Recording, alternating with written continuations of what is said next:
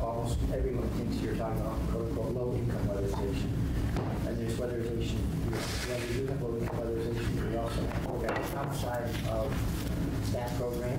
And the goal of the bill um, is to expand both, because it's useful to everyone, so. Uh, I'm hoping you can talk about the whole universe of weatherization in Vermont and maybe a bit more. maybe a little bit beyond. But um, Thank you. For the record, I'm Richard Faesy with Energy Futures Group, a resident of Starksboro.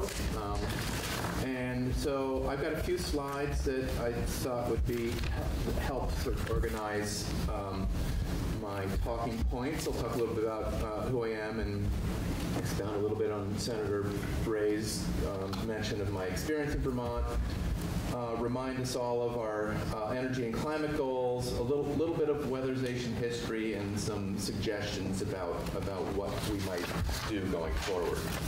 Um, so I'm on page two. That, so I've been in the energy efficiency uh, industry um, for more than 30 years. We've got a number of certifications and policy program experience work, um, work throughout Vermont and, and actually U.S. and Canada as well too. Um, before my current position at, um, as a co-owner of, of Energy Futures Group in Hinesburg, I was at Vermont Energy Investment Corporation.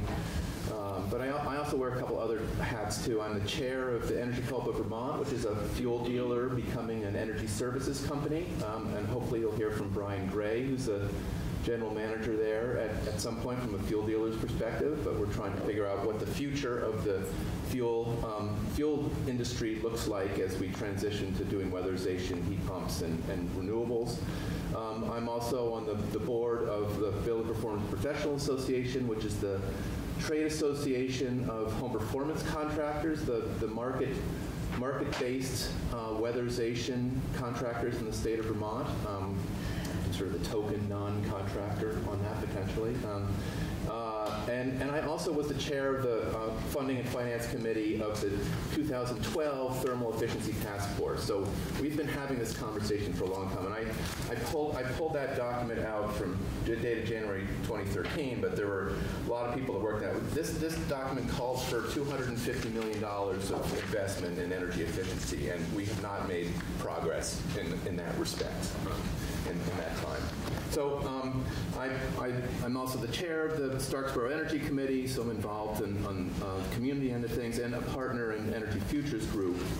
Uh, a little bit about Energy Futures Group on the bottom of the, of the second page, including our, just a reminder of our, uh, we did a renovation of a 1850s farmhouse, and we now uh, produce all of the energy that we need for the building for the year on solar panels on the roof. So it, it heat it with heat pumps and high efficiency, so you can you can do it you can do it in Vermont. That's a little more that's a little more extreme than what we're talking about here, which is helping helping existing buildings uh, improve. And um, the top of page three, um, I asked the question why why weatherize our buildings, and I think just as a, a reminder. Uh, we're, we're, we're doing this for multiple reasons, but certainly climate change is real and, and needs to be uh, needs to be addressed. This is this is one effective way of doing so. Every time I hear the governor as well talk about his three priorities, I think how how closely aligned weatherization fits with his grow the economy, make Vermont more affordable, and protect the most vulnerable. And um, on all three fronts, weatherization falls right in, in line with those. And I, I can talk a little bit more about, about how those fit as well. Uh, Vermont's frugal. Uh, we're, we're certainly a focus on supporting um, job creation and, and uh, energy contractors. Uh, there's, there are many opportunities for not only keeping money in the state, but, but uh, growing our, our, um, our clean energy industry here as well, too. And then uh, we heard some yesterday about um, the need to meet the state's goals. And, and the bottom of page three, I just have a reminder. I'm not going to go into detail about it, but I think you're all aware that the, the um, 80,000 home goal that was um, uh, to be weatherized by 2020. We're not, we're not on track, as Jared Duval suggested yesterday. When that, that was put in place in 2008. Here we are in 2018, and, and we've made uh, very little progress towards that. And then we've got the comprehensive energy plans of 1998, 2011, 2016 that all mention weatherization. Um, and you know, both small weatherization, which I'm sort of considering the market of, of homes, and then capital W weatherization, the low-income weatherization program too, on, on both fronts. Um, there's mention there. Climate Action Committee called about doubling the rate of, of weatherization assistance program activities. Uh, Energy Action Networks report that, that uh, we heard about yesterday talks about weatherizing an additional 90,000 homes by 2025 to put us back on track. So, Uh, This is a good question, and if you want to wait for you to get to it, fine. So, um, so we've identified this repeatedly and made much less progress than I think anyone ever hoped. You have a, are are you going to get to an analysis of why we've made such, uh, like, way down at our goals? why we have it? Yeah. I can conjecture about why that might be. Um, So um, uh, maybe I'll hit on that and some additional points to move forward. So, um, Sorry, Richard. No problem. Good morning. Morning. Um, the top of page four. So we again we've, we've got energy energy and climate goals, and and and then the chart on the bottom page four we saw um, with um, Jared Duval yesterday talking about where we are currently and where we need to be. Um, and I think just the, the point that, that, that, that I've now made enough times, you'll probably hear it again. We've, we've, we've been talking about this for so long and made so little action um, towards that. And I mean, I think the bottom line answer to your question, Senator, is we really have not uh, been willing to fund what it takes to make this happen. And it's, I, I think it really boils down to a, a funding commitment. If we're commit, if, if we're if we're committed to, to weatherization, um, we need to put our money where our mouth is, and, and we haven't been uh, willing to do that as a state. So I think that's sort of the bottom line answer. Um, Can I ask another quick question? Sure.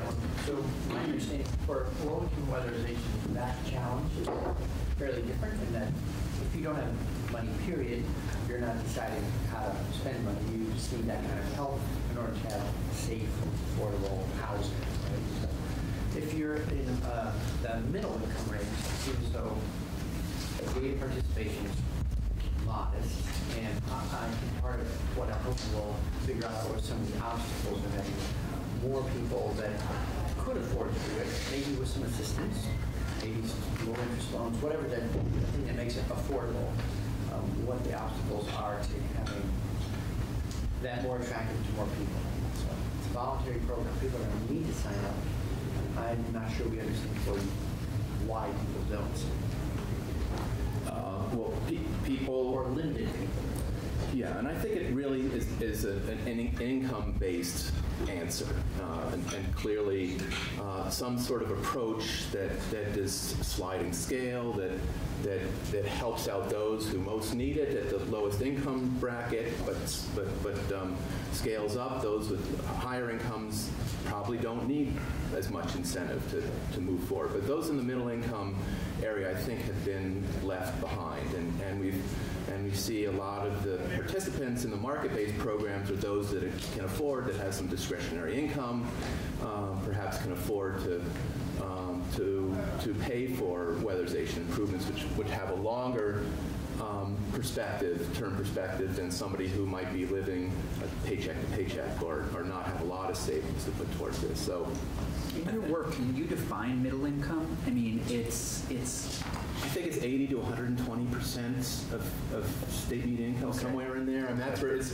Thank so you. in, the, in theory, well, maybe it's probably actually uh, in the low-income weatherization program, which actually the next slide on the top of top of page uh, of five, um, is really uh, my understanding is it's up to 80 percent median income uh, by by statute, but in reality, based on the, the resources they have available, they really only serve 60% and, and lower. And, and so you may be on that list for, um, we've been helping some elderly residents in Starksboro um, through the process and, and um, connect the dots there. And uh, if, if you are disabled and elderly and low income, you'll move right up on the list. If you've got some more, uh, if you're not in that, quite in that situation, you may be on the list for a year or more uh, at, at that higher than 80%. And I, others can speak to that better than I can, but I, I think that it's, so in reality, it's probably 60 to 120%. But if, if low-income weatherization was more fully funded, they could probably serve more of, of the, the uh, constituents that, that haven't been served historically. I mean, it's my hope that what we do addresses, that moves that program all the way to the full 80% threshold so that it can fully serve the population it's designed to serve. And then, then we also do work that helps us up to 80 to 120 as well. What those two look like, uh, is it growing one and then address both, or, or we're working with multiple partners? I mean, we're here to figure out how to do it, not to reinvent the wheel, uh, but to figure out who the right partners are. That's tool, from my point of view, the best tools to help all the actors out there. So I have some recommendations that hopefully will address that as well, too. Um, So just, a- I I thought it a- would be a little helpful to sort of set the, set the stage or level set what- when we're talking about these, these entities. Uh, It it really is, I mean, I think we've, we've already begun that conversation here. This, I think about it in sort of two buckets. There's the Low-Income Weatherization Assistance Program, or WAP, the capital W. Um, and this is this has been in place since the 70s. It really um, it started its life as a job training effort and, and then turned into a, a, national program, um, and and it's really now sort of attempts to do both, but the focus is more on the energy piece of that. Um, so as we heard yesterday from um, Jeff Wilcox, Vermont receives um, some money from the feds um, and and but the rest of it is raised through um, um, uh, fees on fossil uh, fossil fuels, oil and propane and uh, natural gas, and then electricity charge as well too. Um, so I, I mentioned a long long uh, prioritized list um, or waiting list means that the 60 80% is rarely served. So we just talked about that. Um, there's also a 3E Thermal um, helps address multifamily um, programs, um, multifamily units as well within within that program. And then there are the market-based programs. And um, so most of these are home performance with Energy Star is sort of the brand name that Efficiency Vermont supports, uh, along with a heat saver loan.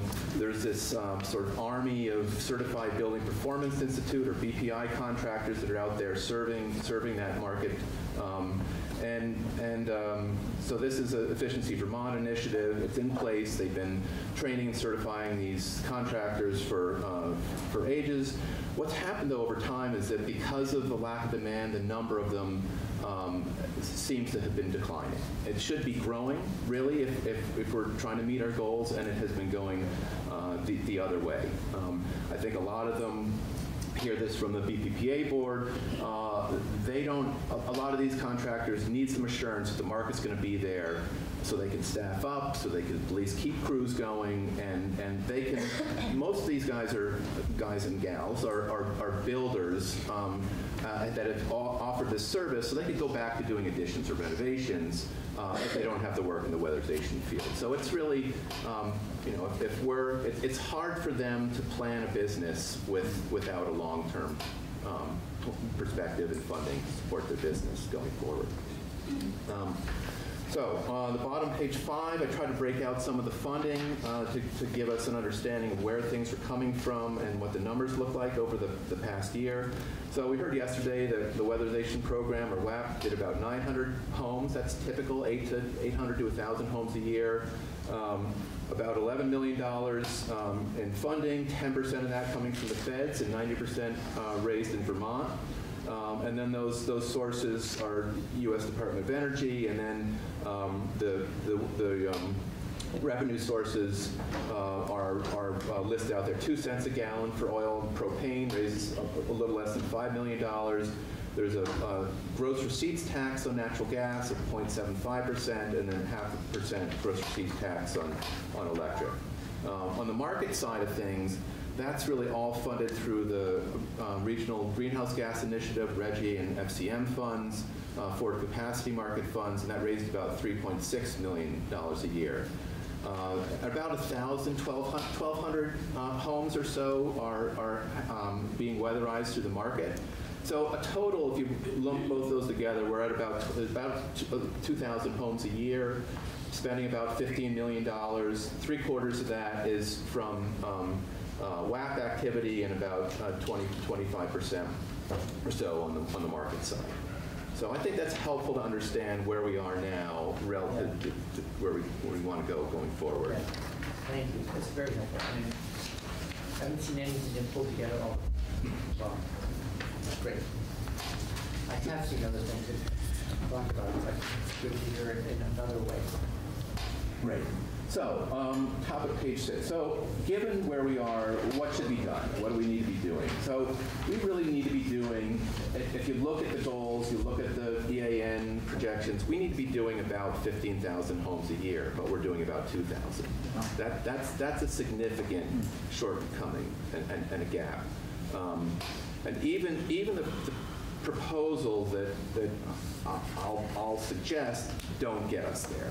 Um, It's, it's, um, uh, but I think just understanding if we're, we're, we're- I think we're deceiving ourselves to think that we're going to meet these goals without really taking some, some bigger bites than, than we've been willing to. Um, So in terms of what we need to be doing, ensuring that the WAP funding continues um, and grows, um, this moderate, uh, low moderate income household uh, area that hasn't been fully served. We should figure out a way to, to serve them.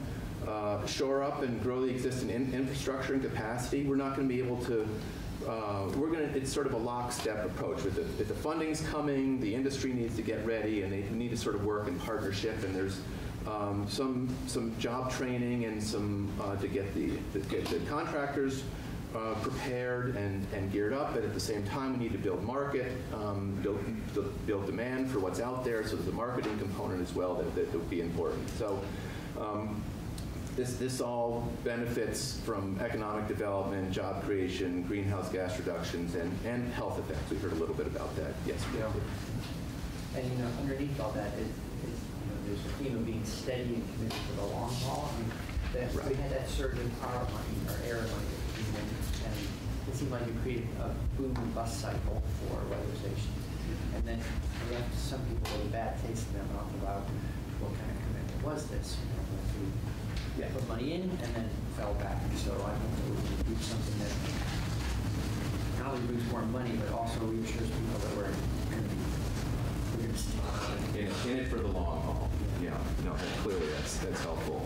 And then bottom page six, some, some what else as well too. And just, I, I think it's important to put this on the table to think about. This, this um, there are some successful models that, that are out there. Uh, a couple years ago, we did a we did a pilot program with the Green Mountain Power seed funding and uh, the Building Performance Professional Association, this Zero Energy Now, where we worked with 35 existing homes and got them to between and, and between 50 and 100 percent total energy savings. Actually, the average was 79 percent savings modeled. We're doing it a a study right now to validate uh, how they actually perform. But this is through a combination of weatherization, heat pumps, and solar PV. Uh, guaranteed the savings. Uh, a good sign was that nobody called us back and to, to ask for their uh, savings guarantee claim. So we either did something right too busy to, to pick up the phone and call. But we did, if, if we did say that if, if our projections don't, don't live up, call us and, and we will make up the difference. So that program, just make sure I understand, were they taking loans? It was a combination. We offered uh, incentives up to five thousand dollars on top of uh, on top of Efficiency Vermont's um, incentives. And, and customers, these were forty thousand dollar projects, which sound expensive, but the average savings is about thirty five hundred dollars. So um, uh, these people were saving a lot of their total energy bill. Uh, Most of them did do um, a financing component to that. So they, these are $40,000 projects, 20,000 was solar, typically 10,000 was weatherization, 10,000 was heat pumps. That's sort of how it, how it, how it broke out. Um, And their total bill prior to, uh, These are $4,000 a year energy bills sort of thing, and they're saving $30 $3,000, $3,500. so for the most they were close to that breakeven. They're not spending any more servicing the debt plus paying their reduced energy bills. And, and there are, and there are loans that will support that, so, um, uh, out there. So the- there, we have, Vermont has some great financing products that can support as the, these energy, large projects.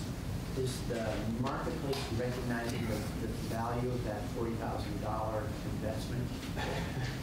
Um, So, the next point on this slide, make energy visible through building energy rating and labeling. So, um, uh, we've been at this for a while in Vermont to try to, uh, working with appraisers and the lending community to allow the market to see and value buildings based on energy performance. So right now, there's no way very little way for people, for, for, for home buyers or appraisers or lenders to, to understand how a, a build, how a building's energy performance stacks up against another one, and, and, and what, what it's going to cost for somebody to live in that home um, based on the average family size um, and, and temperature settings and whatnot. So putting, we've, Senator Bray teed this up, we've been working on this, we've had S-118 for the past couple of years, which would, uh, which would, um, in support with the realtors, uh, put out uh, energy information at the time of, of purchase, so that homeowners um, could understand what it is they're getting into and what available resources were there for making improvements to homes. Is that bill, We- We've had. no, I know we did. Right. It's just as, uh, They went to finance. Yeah. And sprawled out there. that's right. Um, So S-118 with a little bit of a modification is part of the weatherization bill where we we should try to address that as part of the push. It's been incorporated into H440, which I have in here, Okay. whi- which, which adds a- an additional component um, to uh, um, reestablishing the um, Vermont's Building Energy uh, Labeling Working Group, which provided a report to the legislature uh, three or four years ago, um, and had acted, subsequently, uh, Efficiency Vermont did a a pilot program, 250 home uh, energy rating labeling pilot program, learned some things there. There's some national uh, tools that are available from the Department of Energy and otherwise. So uh, H, H440 suggests that, that that working group be resurrected and, and figure out what the building and labeling system for Vermont should be. And H-440 was modified S-118. Yes. And H-440 is in this bill, our bill. Right. It is, okay. Whole cloth. Great, okay. So, um, yes, it's important, this is a long-term market transformation initiative, but if we're going to, if we're going to move the markets, we need to make energy visible and, and let markets make decisions based on that. So that, I think that's an important component while, um, and I'm glad that, it, that you- you're thinking about incorporating that there. So I mentioned before too, workforce training and, and marketing for weatherization as well are important. Um, so I've got my final uh, slides on page seven, I do have a, a- a set of recommendations, and I am looking at the clock as well, too, so. um, um, So, uh, 2019. uh, So, first recommendation, reauthorizing the existing WAP funding sources. It it expires this year, make sure, let's make sure that that, that that continues. I think that's pretty much, uh, it should be a slam dunk. But at the same time, ramping up the low-income weatherization and the market weatherization funding, and and suggesting here sort of a two-stage uh, increase basically doubling the, the funding that we talked about before, the two cents a gallon. Let's, let's in the uh, first year, let, as a sort of ramp up for the, let the industry get, get oriented, bump that up to four cents a gallon and one and a half percent gross receipts tax. This will raise about $6 million in, in new revenue um, and, and will result in, in moving us incrementally towards that 15,000 home goal by, by moving us to 3,000 homes. Um, And then in the following year, let's double it again and, and, and um, move that, or at least add another two cents there and, and make it six cents. Um, then, and that would move us up to four, 4,000 homes. Um, that would give some assurance, some ramp up, um, provide the industry to, to prepare and get, get ready for that. Uh, and, and start making some, some more meaningful progress in, in this area. Uh, And then, as we talked about, lock it in for as long as possible before reauthorization, so we don't have to, have to be uh, going back uh, and, and having this conversation um, too frequently. Um, The bottom, page seven, additional uh, uh, um, recommendations, workforce development training, working with potentially Vermont Technical College. Uh, The BPPA Trade Association would be very interested in, in working with their members and, and um, um, putting, putting force, uh, put, putting out there uh, ways to grow the industry, uh, marketing to let, let the, um, that middle income sector know that resources are available. Uh, mentioned before, sliding scale of grants and incentives based on income. Um, so it's really, I don't think there's one size fits all, but there, I think there's some good thinking that's been going on. And you'll probably hear about this from others about, uh, you know, sort of a transition from grants to incentives to loans based on, based on income. Um, It's probably not this committee's or the Senate's um, uh, place to, to dive into the details of that, you know, there's, there- but, but there's a lot of good uh, experience out, out there that I'm sure that Efficiency Vermont and, and others can help put those pieces together. Efficiency Vermont? Because we're talking about raising money on, on fuel oil, right? Uh, Yes. So what percentage do Vermonters pay on their electric bills to make our electric rates go down and to be more competitive with other states? I believe Today, it's- what's the percentage? I percentage? believe it's between 2 and 3 percent. Uh, Is it? 90%. Nine 9 percent. percent, 9 percent. Nine percent. Right. And we've gone from the highest electric rates in New England in the last 20 years to the next to the lowest. And it, the fund, yeah, yeah, I rated the fund last year for other stuff. But we, put 9% of our electric bills have been invested in making our homes and businesses and and whatever more efficient with electricity. And we've gone from the highest in New England to the next to the lowest. What do we spend today to make our, to make our inefficient homes um, more efficient in, in, um, in the use of heating oils, Well, two, percentage-wise? two pennies on a two dollar fifty cent a gallon, gallon of heating fuel is one point two five percent. So it's nine percent versus one point two five. Well, it's just been on about 15, No, it's less, And this is a, pro- less than one. this has gotta be less than what, two cents is Sorry. into two and a half doesn't go. Yeah. Point eight, thank you. Pardon? Math there. 0.8 percent, and we wonder why we're not getting anywhere? Hmm. And, we're- and we're talking about going to 1.6? Yeah. What, were we kidding ourselves? I mean, this is, this is preposterous.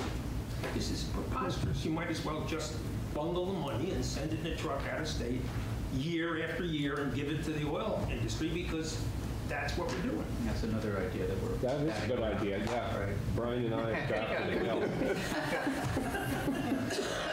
I mean, this is, this is 2018, we have a goal. 19. Yeah,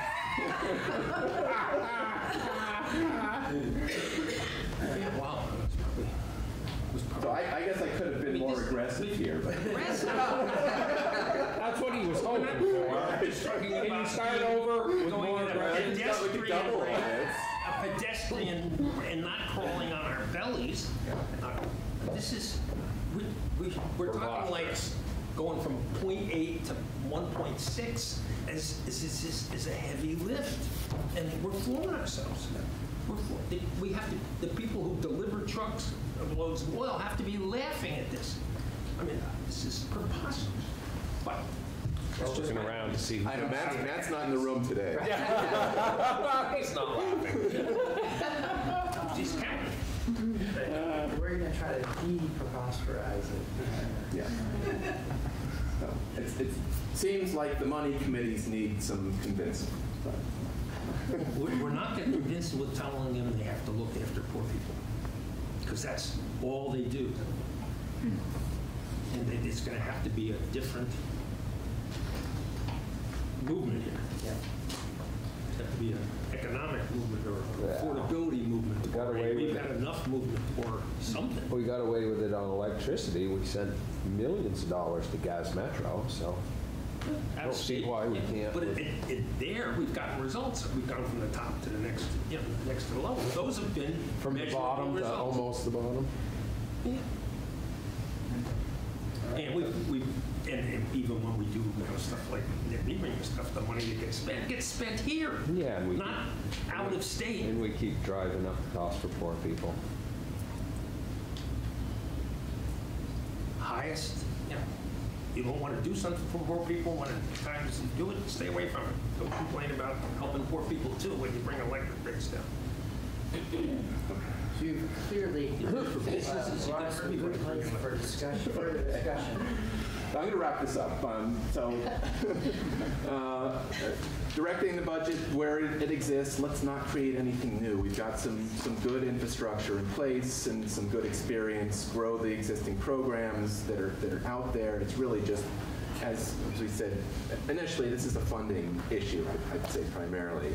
Uh, And, and uh, I'm glad that H440 is, is part of your bill. So think about building energy rating and, and labeling as part of that. And I, and I just had a, um, I, I think I've made all my points, so I, I think, Um, the, uh, if we have, if we could write a check and have all the money we wanted, I think I, the thing that I'm sensing is going to limit the rate at which we'll make additional progress is the ability to staff up and develop the program, and do the allocation. We're going to need more people around to do the work. I think.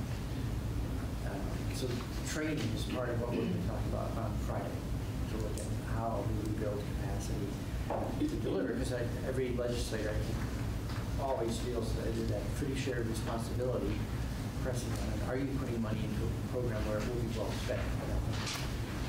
My goal is that we would fund things better, but we'd also be able to report with confidence that we know we're going to build the capacity in an orderly way so that we're not creating a lot of internal friction, wasting money because we're not ready to accept that much money. yeah. I, I don't think this is more than enough money that the, you know, if, suggested a, a sort of two-year ramp up. Uh, Sounds like Senator MacDonald would like that to be more robust, or maybe, maybe it keeps increasing year over year going forward. And I, I, I think that the industry, knowing it's coming and with some assurance, the industry can, can and will respond to that. Well, and one thought along those lines is you, you have in that, so the bill just starts with the, the most simple thing, a, a one-time doubling, but it's an open question now in the committee, like, well, how much more? I'm hoping that actually we look at it as a stepwise progression. That would be So, great. If it's a doubling next year and a doubling the year after, then, then we're starting to accelerate. Right. Okay. Great. Any questions for Mr. Faesy? Thank you very much. Thank you very much. Okay, um, So now I'd like to invite to the table Mr. Costello. Good morning. We, you, when- I'm sorry I was late because I was with uh, Jeff Spalding and others regarding Southern Vermont Park. We didn't go through a bill, correct? We did not. Okay, so my only question is, we're not going to have all these folks back to respond to a bill. No. Okay, that was, I mean, it's, the, our draft is posted to our Yeah. webpage. right. Um, And at least it's, so it's, if the thing, we'll, we will do a bill walkthrough, we'll schedule counsel to come in and do that. But for now, we lined up people really to talk about the topic more broadly. Okay. And, you know, the things that are in the bill, the draft at the moment are include um, that building energy labeling component that we just talked about and uh, a funding stream, that we're creating a higher level of funding. And now to figure out, our homework is to figure out how much more funding can we use, how would it get distributed to whom in order to bring up a level of performance for everybody, whether you're low income or above. Way. Mr. Thank you so much, uh, Chair Bray. and committee members. It's a pleasure to be here. Uh, I'm Paul Costello, the Executive Director of the Vermont Council on Rural Development. I'm here speaking for the Climate Economy Action Team. Um, I'm also the former uh, co-chair of the Governor's Climate Action Committee, Commission. Um, The Climate Economy Action Team came from VCRD's work. We're a leading facilitator at the ground level in Vermont. We're charged by the federal farm bill to, uh, to contribute to state policy around rural development, but also to be a neutral arbiter at the local level, listening to all sides of issues outside of politics, looking at how the best ideas of communities add up, helping communities set priorities for action, connect to state and federal resources, and we work effectively across uh, Republican and Democratic lines. We tend not to take positions on political issues. Instead, we convene leadership around issues that our board thinks are of fundamental importance to the future. We've done that around broadband, around uh, working lands, and now we're doing it around climate action. Um, knowing that this is an area that um, has a fundamental uh, uh, place in Vermont's future economic development. We convened the Climate Change Economy Council uh, two years ago, which evaluated the economic opportunities in Vermont taking leadership positions around climate. We've had three major summits with 500 people at each. We've brought major investors and entrepreneurs from across the country to Vermont, including Danny Kennedy, who, who describes the climate economy as the most fundamental opportunity in world history for economic activity. That we're going to see transformational work going forward around vehicular electrification, smart grid development, efficiencies, net zero development, um, entrepreneurism, innovation, creativity, and that fundamental to Vermont's economic prospects is seizing market share, situating ourselves as a destination, and in, in our rural setting, modeling rural renewal in a way that can benefit the entire country and potentially contribute beyond our borders. So, grand idea. Um, we've we've uh, framed out a number of action positions based on that that echo closely with both EAN's prospectus and, and what Richard Faesy just presented in, in terms of um, the range of issues from weatherization to building uh, code uh, and time of sale uh, evaluations and so forth. Um, I'm here to speak for, for CIAT on one of the two core priorities that they um, have established for um, presentation this year to the legislature, and that's around weatherization, obviously. And have you had an opportunity to see the bill?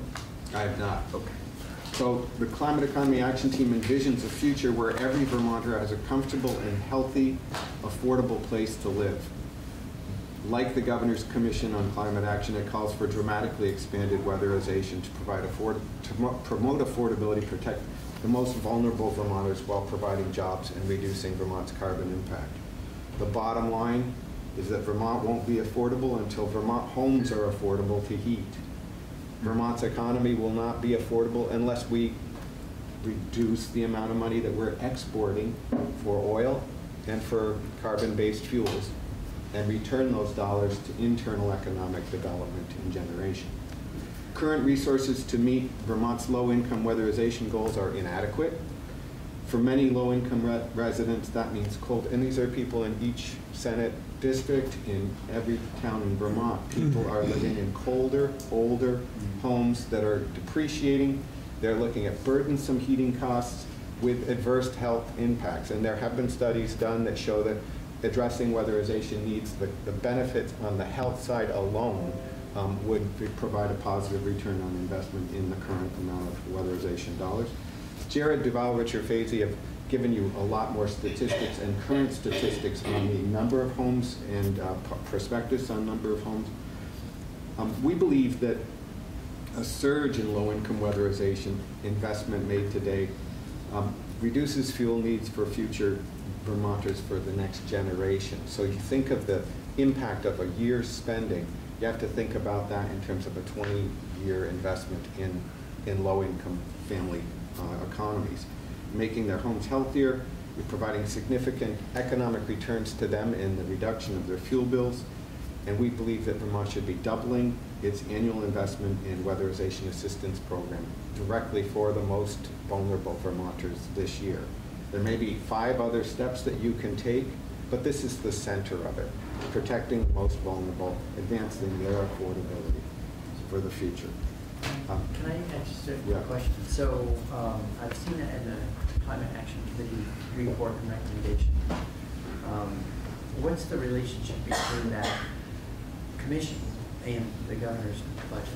I'm trying to ask a political question, but I'm not seeing a funding stream to match the recommendation. So I don't, I'm trying to figure out how to take the rec, it's his own commission, but the budget's not the same. So Very little in the govern, the governor's commission's report was reflected in the governor's budget. Um,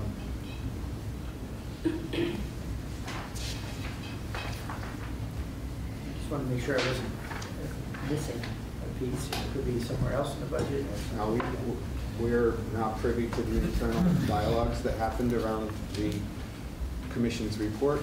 Um, Weatherization was one issue that was fundamental to that commission, another being EVs, electric vehicle rollout, supporting uh, uh, the reduction of, of use and time of sales taxation on, on, on EVs, uh, stimulation for lower income people to be able to get into the uh, used EV, used plug-in hybrid market.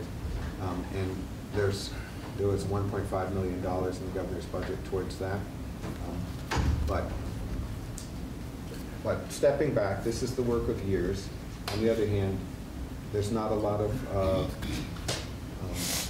budgetary uh, proposal connected to this, and we're very concerned. We're very concerned that um, we're at a point in history where we need to set trajectory, and where uh, the State House seems to have its head down around the costs and, and long-term investment, and we, we deeply appreciate the interest of this committee in weatherization and the importance of taking a, a bold vision and bold action today, and that bold action should hit the budget line. I don't know how to interpret though head down. Tell me what that means. Focus or not paying attention? In the sand. Better than the other place our heads. We're watching a very difficult appropriations conversation on the House side. We're watching House uh, Transportation Yeah. having a very limited view of the potential for investment. Um, And that's very challenging, I think, from the point of view in terms of our economic, All right. the economic drive behind this work. Did you have an opportunity to lobby the governor yourself as the chair on these? I had the opportunity to present. You did, okay. Uh, Senator Rodgers. So you, you keep going back to EVs, um, and I read a report a, a couple of years ago from MIT that said they thought in the near future, other technologies would overtake electric vehicles. Right now, everybody's focused on all electric vehicles, but then I've also read that some of the charging stations we're currently putting, putting in or thinking about putting in may be completely obsolete in a year or two. So have you guys looked into any other emerging technologies? And it's like, what they were saying is don't put in the slow charger. Nobody that's traveling is going to use a slow charger. You have to get the next generation charger. It doesn't make any sense to put them in. Are you guys looking at any of this, the future technology, to make sure we're not spending millions of dollars on technology that is going to be obsolete in two years? The engineering around the specifics of slow and fast charging is something you should ask someone with more expertise. I- We're more facilitators of this Okay. process than experts in that particular kind of arena. The thing I would say is, we- we shouldn't wait for a comprehensive or a technological solution when we have the potential to make investments today, like weatherization with proven ROI. Uh, I agree, I Yeah. agree on that Yeah. aspect of it. So the weatherization program is administered by the Agency of Human Services, delivered through the five CAP agencies. There's a proven record of achievement. There's challenges in building a rollout at scale and doing this um, aggressively. You you brought them up, Mr. Chair. Um, But from our point of view, those challenges are management challenges, not policy challenges. In other words, things like building workforce training within the capacity of the uh, CAP agencies to effectively deliver services um, is something that, that CAP agency directors and weatherization directors can work on aggressively um, if there are resources there that allow them to, to do that work. Uh, And so the, one of the challenges we see around this is the weatherization conversation last year and in previous years tends to get entwined with management decisions around the challenges of doing it appropriately. And those are, are certainly important, but you can't let the perfect be the enemy of the good. You, you have to be pragmatic and you have to recognize the managerial leadership of these institutions that have a great track record of implementation. Um, and and uh, so we very much encourage the support of the existing structure. We also know that last year there was a, a, a long conversation about the possibility of bonding. We worked closely with Neale Lunderville, who's a member of the Climate Economy Action Team, on that bonding conversation. We know that the complexity of the bonding conversation involved people in thinking about the full range of activities from loans to um, subsidy at different levels to um, low-income weatherization. And we're concerned that when we try to evaluate and, uh, and build a scoped system that's complete for the issue, um, sometimes it doesn't pass through and we end up having uh, minimal results in terms of the direct work that we could be doing for the most low-income Vermonters today.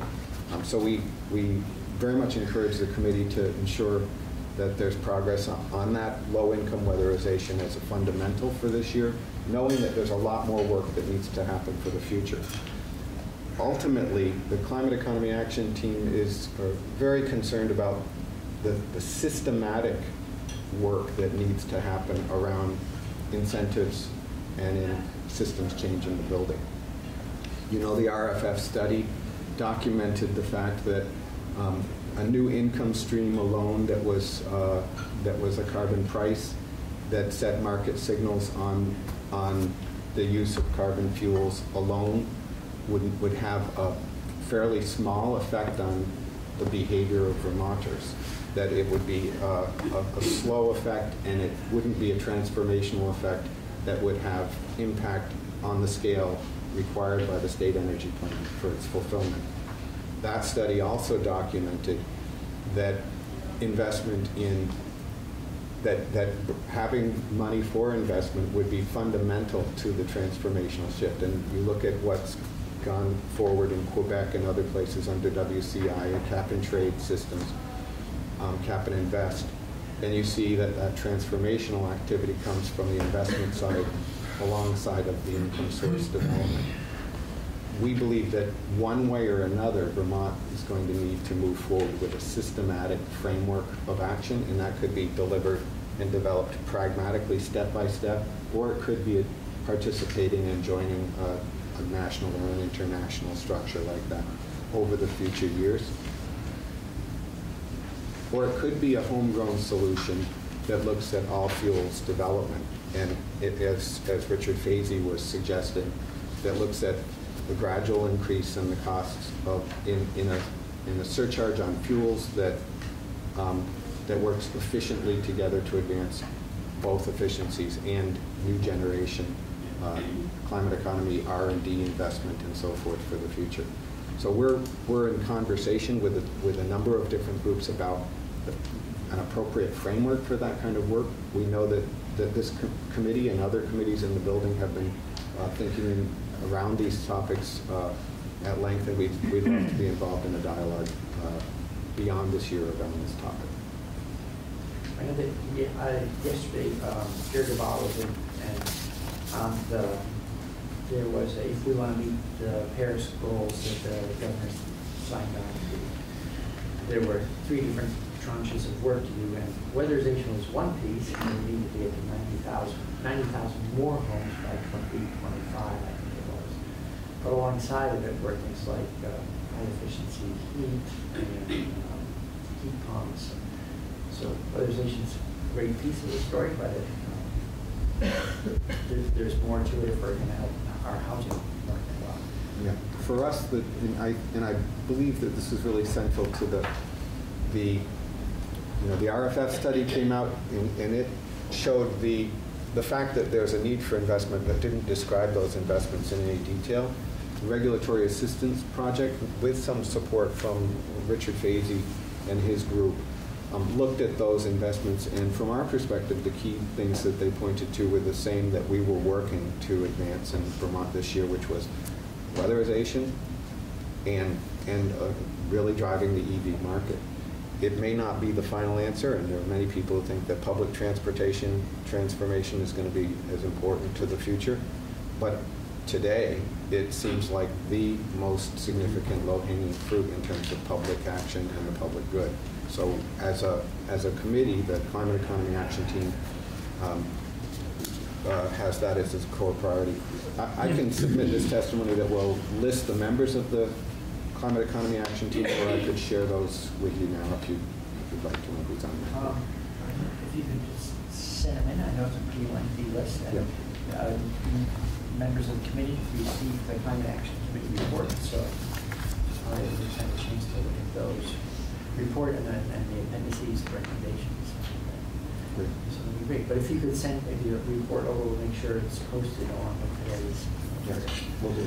Um, I have one quick question. Um, uh, So Mr. Faesy uh, noted that he thought that weatherizing fit into sort of a both governor's frame in terms of, of, for goals, or in terms of growing the economy, making Vermont more affordable, protecting the most vulnerable. Um, Would you concur that that there's a good fit between weatherization and all three of those? I I would, and I would add that it also um, supports economic opportunity in Vermont, both in terms of job creation in the short run. But the- more we say, you know, when you're in economic development, you look at, um, you look at how you're exporting dollars and how you're bringing and regenerating dollars in community. And when we're exporting as much as we do for fossil fuels, ninety percent of that dollar is lost to the Vermont economy rather than recycled within it. So for us, uh, the return on investment in local generation and efficiencies that save money, keep those dollars cycling in the, the local economy. In, in rural communities is particularly important. Thanks so for. Thank you. Um, I'd like to invite um, Ms. Miller to join us at the table. Good Morning. Good morning. Thank you for the opportunity to be here.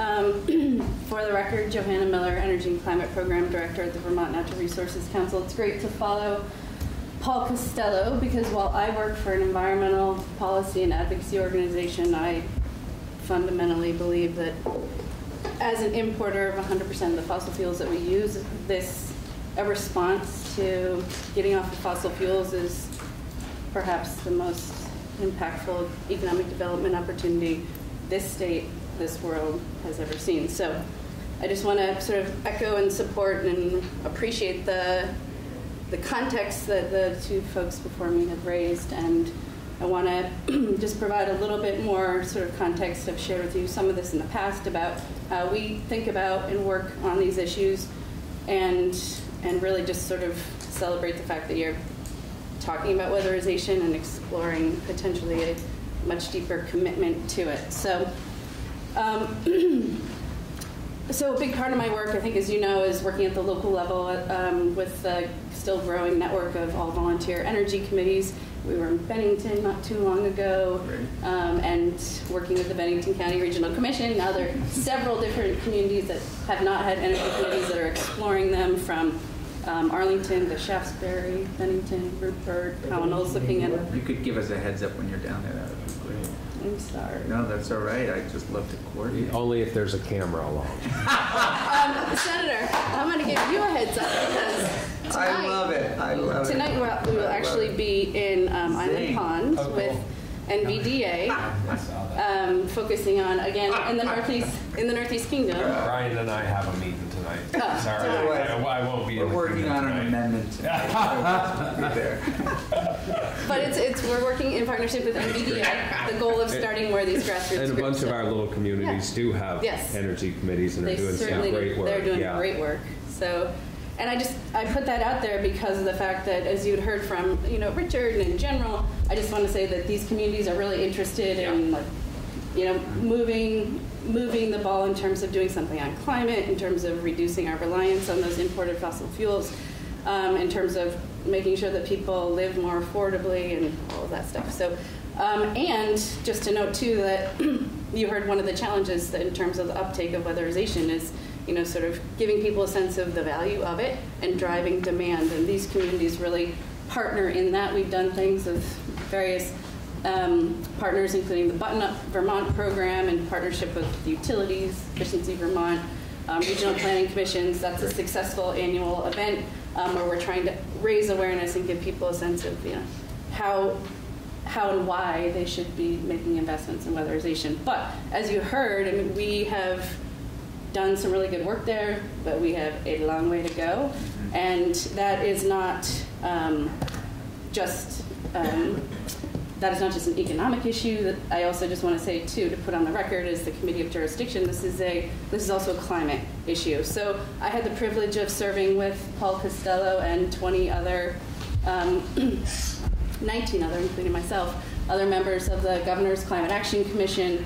Um, in terms of the recommendations that we made, really focusing on the building um, sector, helping Vermonters um, in particular low-income Vermonters, um, weatherize their homes and reduce their energy reliance and energy consumption was a, a core priority. And that was focused both on the low-income sector. So our recommendation was to double the number of homes weatherized for low income. We also made a recommendation around increasing our commitment to the to the moderate income tranches, as you heard before, in terms of, you know, again, helping people make this kind of investment. So you know, I look at this opportunity as, as a, a cost saving strategy. We know that, you know, low income Vermonters, Vermonters spend a much higher percentage of their incomes on energy. A lot of the stuff that I'm saying that you heard earlier is, is not really news to you, but I just want to underscore because it is um, a commitment that we have had for a long time and we haven't actually really committed. And that's my hope that in this conversation today and as you continue to explore this issue that we think about and really do make the commitment and think about this as not just the cost of what it will take, um, but look at it as an investment, look at the benefits, all the different things that you've heard articulated in terms of public health, cost, comfort, climate, um, economic opportunities. So um, I do just want to spend a moment talking about the, the climate piece of it too, because as an environmental, um, working for an environmental organization, I do think that that is a crucial component. I mean, so as you know, the Agency of Natural Resources last year put out their greenhouse gas inventory report um, over the course of 2014 and 2015, the two most um, recent years that they analyzed. Our greenhouse gas emissions went up 10% in two years, and that is largely in the thermal and the transportation sector. Um, and it is the exact opposite um, direction that we need to be heading. And in part, I think it is because that we we have not focused as much as we need to in those sectors. It is also in part because that those are largely unregulated sectors. We don't have the levers to pull to really require progress in those sectors uh, like we do in the electric sector. I would say kudos to you. Um, it's not by accident that we have made progress in the electric sector. We're on track in terms of our greenhouse gas emission goals.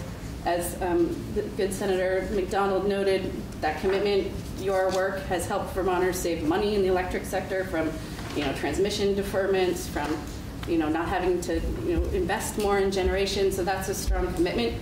We need to do the same in the unregulated fossil fuel sector, in weatherization and transportation. That's what you're, that's what you're considering. I'm glad for it. And also just to note, on the heels of that ANR report, um, came the one of several other big reports last year, which was the IPCC, the Intergovernmental Panel on Climate Changes report. Um, it was, you know, this is the world's leading climate scientists that put a finer point on the what they've been saying for decades, um, which is we need to be moving off of fossil fuels because humans are driving climate change. It's largely connected to our use of and combustion of fossil fuels.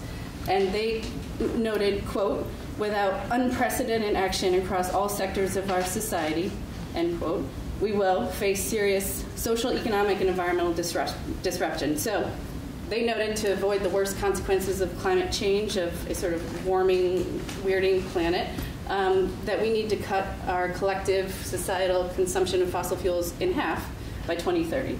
So that obviously will require a dramatic reduction in energy cons- consumption and combustion, and weatherization is a core strategy in that in, in Vermont. So, am I here saying that Vermont is going to solve this challenge alone? No, absolutely not. But we have an obligation to do what we can. We've had, you know, a commitment to that in statute, um, tripartisan supported since 2005. We're tracking in the wrong direction. But back to the point of the fact that we import 100% of the fossil fuels that we use, we have a huge opportunity to actually really commit to reducing energy consumption, doing something about weatherization, stop the hemorrhaging of the dollars that go out of our state. Uh, as you heard from Jared, as you know, about 78 cents of every dollar drains out of our economy. Keeping those dollars here in the state of Vermont, putting people to work in the weatherization sector, um, in, the, in the efficiency sector broadly.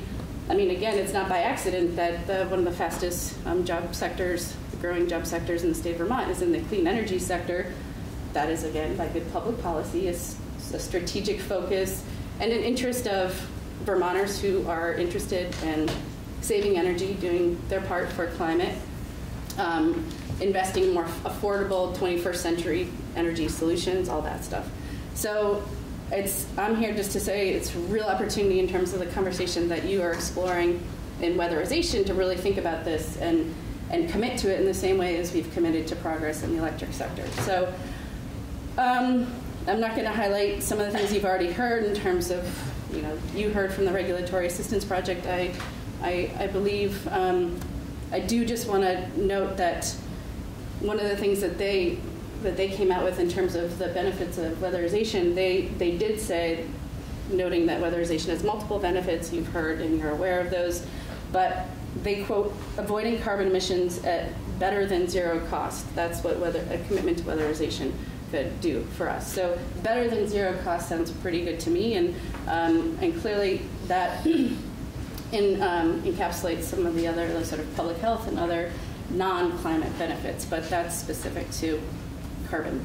Um, so I haven't had a chance to look at Senator Bray's bill, but I do just want to say, from what I understand, um, it does seem to respond to what the Governor's Climate Action Commission um, recommended in terms of doubling um, the number of homes weatherized, um, looking at both the low income sector and serving that sector better, as well as the moderate income sector. I think that is really important.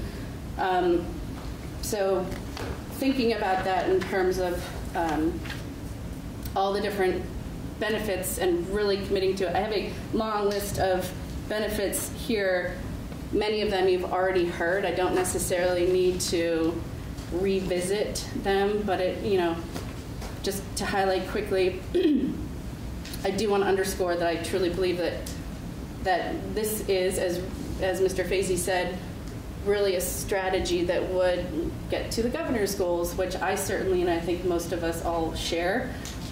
Protecting the most vulnerable, creating more jobs, putting people to work, um, and really, you know, setting us up for not only like short-term affordability and, but also thinking more long-term. I mean, getting off of fossil fuels is a, is a strategy, is, is an investment that will make us more energy secure, more energy independent, and um, keep more money here in the state and in people's pockets if we actually do it. So um, I can share some of these sort of stats and, with you, but I just mostly want to sort of support the focus that you are taking on this and recommend and support what I believe Mr. Faesy had, had put forward in terms of um, reauthorizing existing funding sources for um, the low income weatherization program, but then actually setting the stage for really making far more of a commitment. So,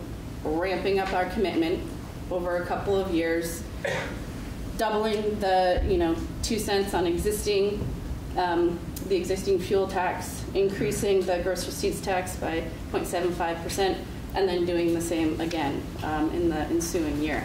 So setting the stage for and using some of those dollars to do workforce development, you know, job training, marketing, engagement, um, all of that stuff, which is a fundamental, you know, it's a comprehensive approach, it's a needed approach, it's, we've been talking about this for a very long time. I think it's really a question about, are we, are we, are we serious about, you know, thinking about this in terms of, um, you know, are we serious about making a commitment to this and, and really realizing the, the benefits that such a commitment could um, achieve? So it is my hope that you, that we, and I think you'd be strongly supported by at least the very strong network of folks that I work with in terms of really committing to this, investing in ourselves, investing in the sort of strategies that will, that are, I would say, are 21st century strategies. Like, let's move away from the, the 19th and 20th century and help people become more affordable, you know, have more affordability and energy independence. So, again, I can share some of these stats with you, but you've heard some good testimony already. I'm not going to take your time, but Um, If you could um, send them to Jude, and then we'll get copies, make sure the committee has them and post them Yeah. to our site. Yeah, I will do that. Many of them are pulled directly from the work that we did on the Governor's Climate Action Commission. So um, it may be just a synopsis of what you might get from Mr. Costello. Send them. So I've got just a quick little question I like to ask people who are interested in climate change. Have you given up flying commercial jets? I don't fly very often. I live here in the lovely uh, city of Montpelier where I walk quite often.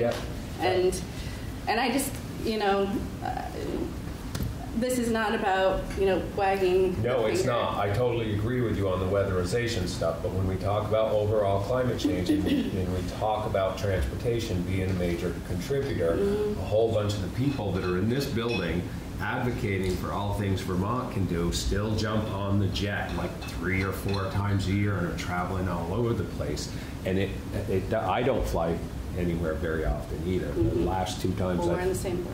flight is because I have a child in the Navy, and the only time we get to see him is if we go there. But um, it's just, it's part of being holistic about our approach to climate change. And if we're really serious about changing people's behaviors, we need to look at changing all the behaviors. And I, I totally agree, and I think I did a comparison years ago when we put the uh, windmills up in Lowell and Sheffield, and if we'd invested just the tax dollars, Open up old wounds. Go just ahead. the tax dollars that came from the United States uh, Treasury, our tax dollars, we could have insulated 23,000 Vermonters' homes, more than doubled the carbon reductions and put Vermonters to work. That's not total investment, that's just the tax dollars. So I'm totally behind putting the money in because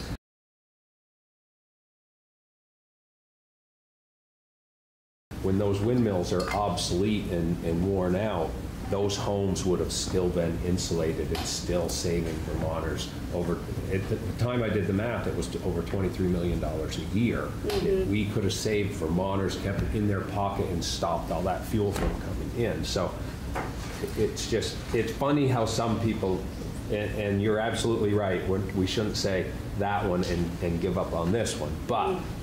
I think we do, we need to look at I mean, you- I couldn't agree more. You know, I think we need a comprehensive strategy. We need a comprehensive commitment. We need real, like, commitment to thinking about this as an investment.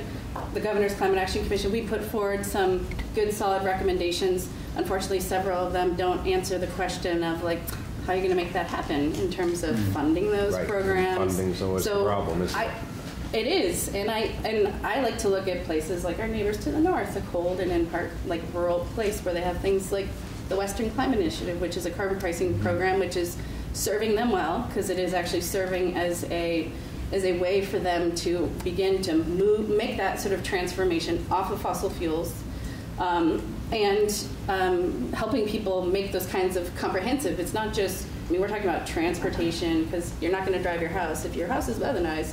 You, even if you have to go to you know Burlington or something like that, you're not.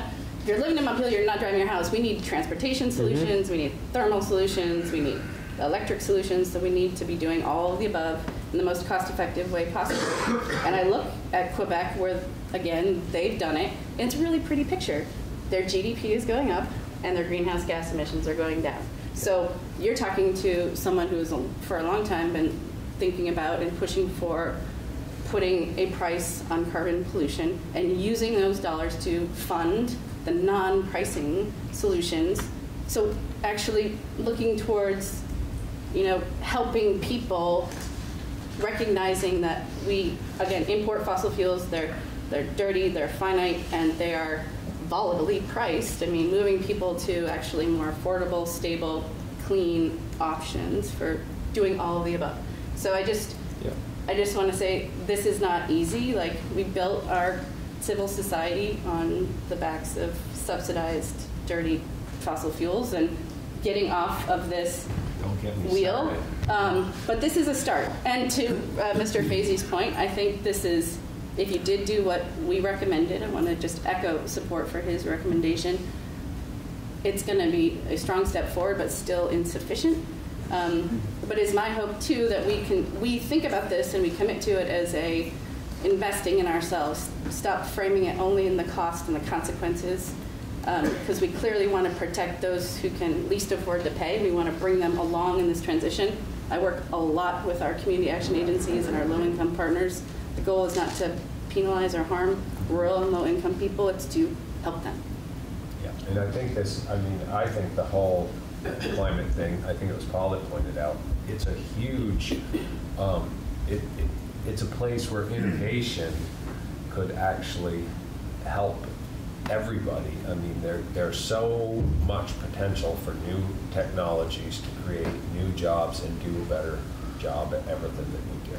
And air travel is a great example. I mean, it, it, it- it's such a polluter and it pollutes areas that there aren't cars such as, it goes over the Arctic and drops things and all that. I mean, what sorts of innovative ways can, or can we incentivize those kinds of developments and, you know, engineering opportunities in this state? The unfortunate Like some other thing is states we've- have done. We've given, we gave up years ago on rail, unlike some other countries who have great rail systems that travel at high speed. We have old clunky rail systems that travel at low speeds, and that's, That's awful. I, That I- breaks down.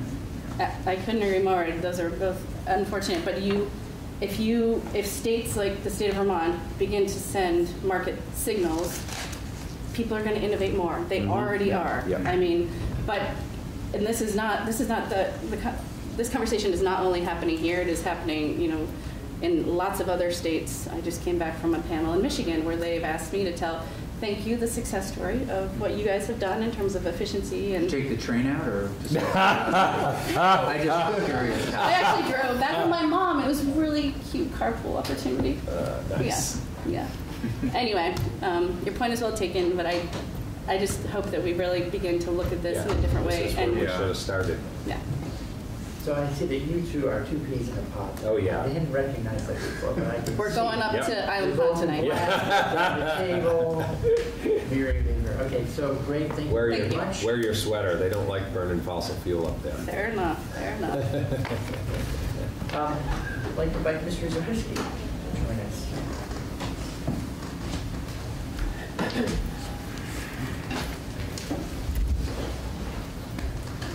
Good morning. Morning. Um, First of all, how long, how much time are we working in here, just so I don't, uh, or should I talk until you tell me to stop? If we could aim for roughly 20 minutes, Okay, and we'll see how that goes. great.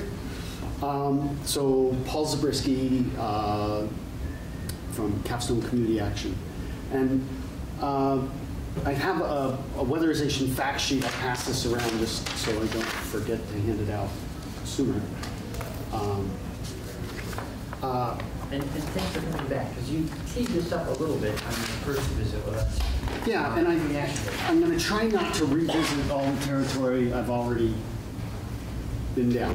But uh, just sort of to remind you, I I wear a lot of different hats. Um, My primary focus is the director of the Weatherization Assistance Program at Capstone Community Action. So that is, that is the low-income WAP, is uh, often hear it called. Um, we also manage 3E Thermal, which is a statewide program that does deep energy retrofit of apartment buildings. So we're really much more involved in the affordable housing rental market uh, with 3E Thermal. We are also a contractor in Efficiency Vermont's Home Performance with Energy Star program. So we work in the market rate uh, programs as well. Uh, I'm also a board member of the Building Performance Professionals Association, a trade group of contractors and, and uh, consultants and program implementers, uh, and we run a lot of education programs. So I, my relationship to this industry is really with the boots on the ground and uh, sort of the day-to-day operations of it. Um, I think that the point picking up on where the conversation has been is everything we do is cost effective based on the current relatively cheap price of energy. Right? So, so we run programs that all have cost effective models that are based on $2.50 or $2.80 fuel oil or equivalents. Um, everything else that comes along with it comes along for free. The, the health and safety benefits, uh, the, the carbon emissions and, and lots of other emissions that go along with burning fossil fuels. Um, one of the things that we're not doing well as, a, as an industry, and I'm speaking for all of those, is, is the challenge of, of working together on the, the getting people all the way there. So um, one of the questions asked earlier was about uh, the limits to growth. And I, from my perspective, it's all about demand. Right? If there's not demand for services, then there isn't any need for a workforce to fulfill it. And training the workforce without stimulating demand, uh, we've been there. We did that. Um, it, it, it didn't end well. Um, so, so Can I ask a quick question? Yeah. My understanding is that there's a backlog now on the low-income weatherization front, and that's without particularly active outreach to potential um, customers, right? correct. So, uh, okay, just wanted to So double check. in weatherization's weatherization's demand is actually driven by supply. Uh, uh, So, so we don't advertise because if we do, we just fill a waiting list full of people we can't serve.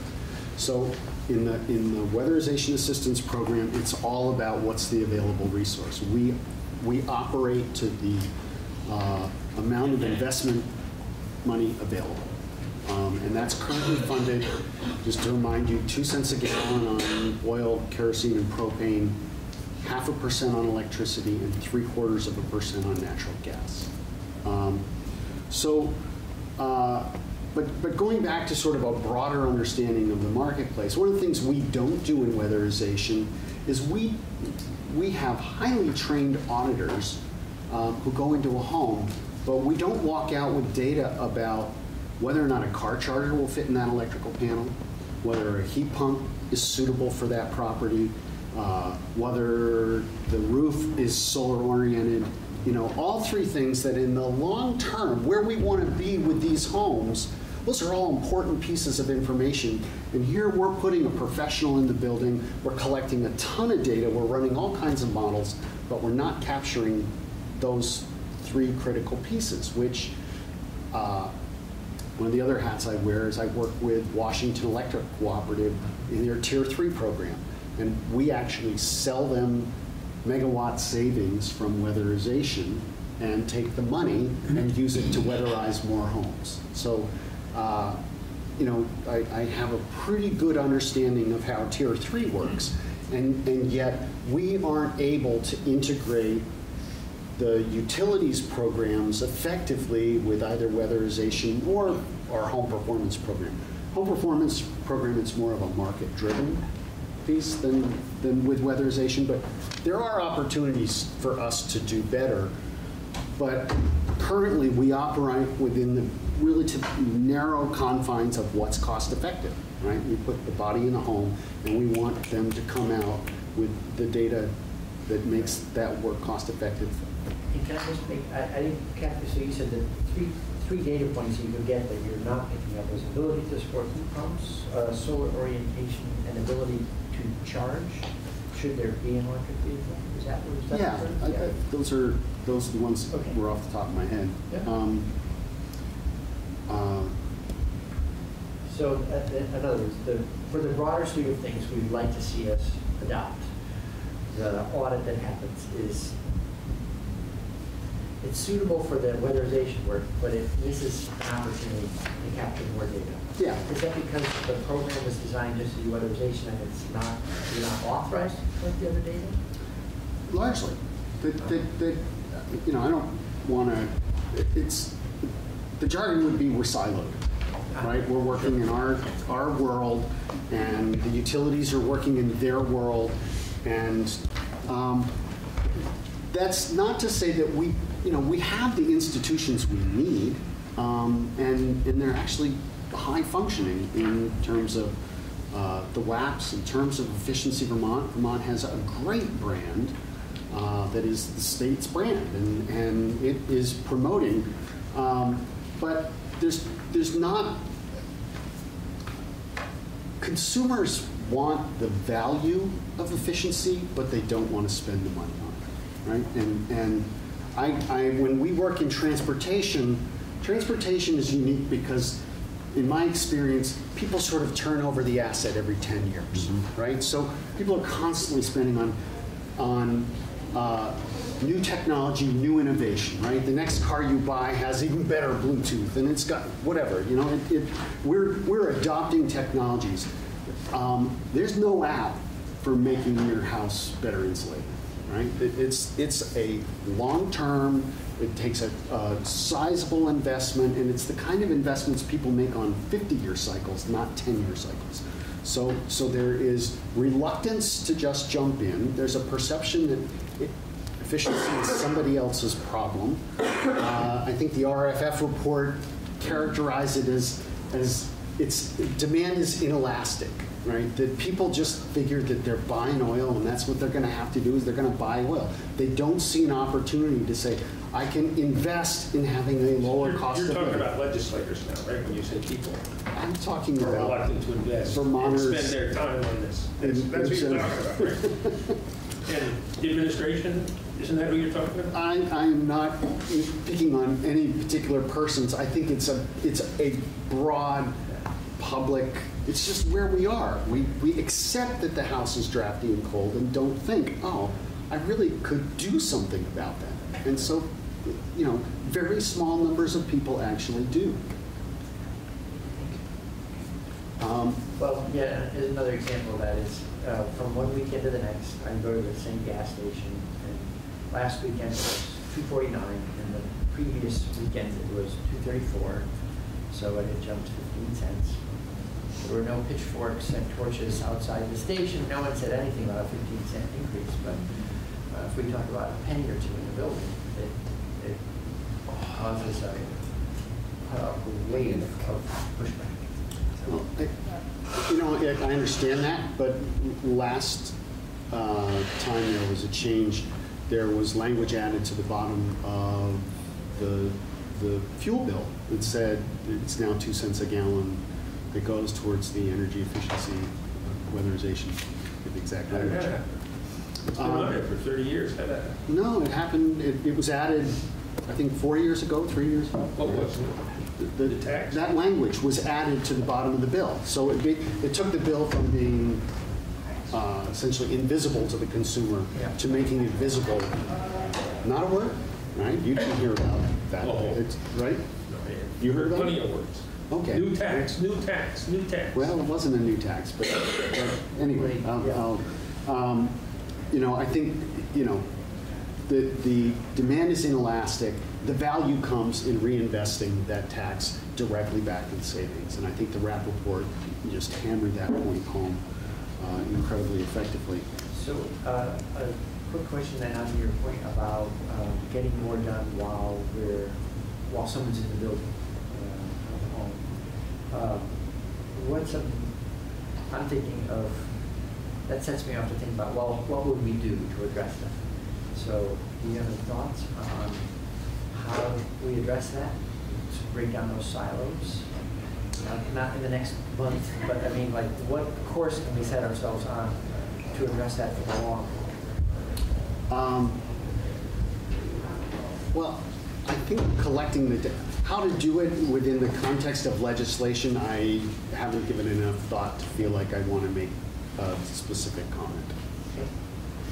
Well, Um, it's a useful thing for us to be aware of. Um,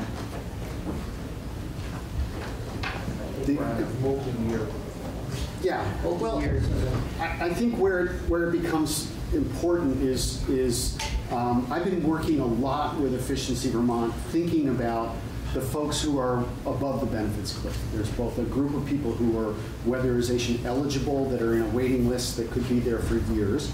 Um, and then there's folks who, who aren't eligible, but they don't have the resources to just do this. And, and so, uh, focusing on opportunities for sliding scale incentives where, where folks with the greatest need get a more enhanced incentive than sort of the base.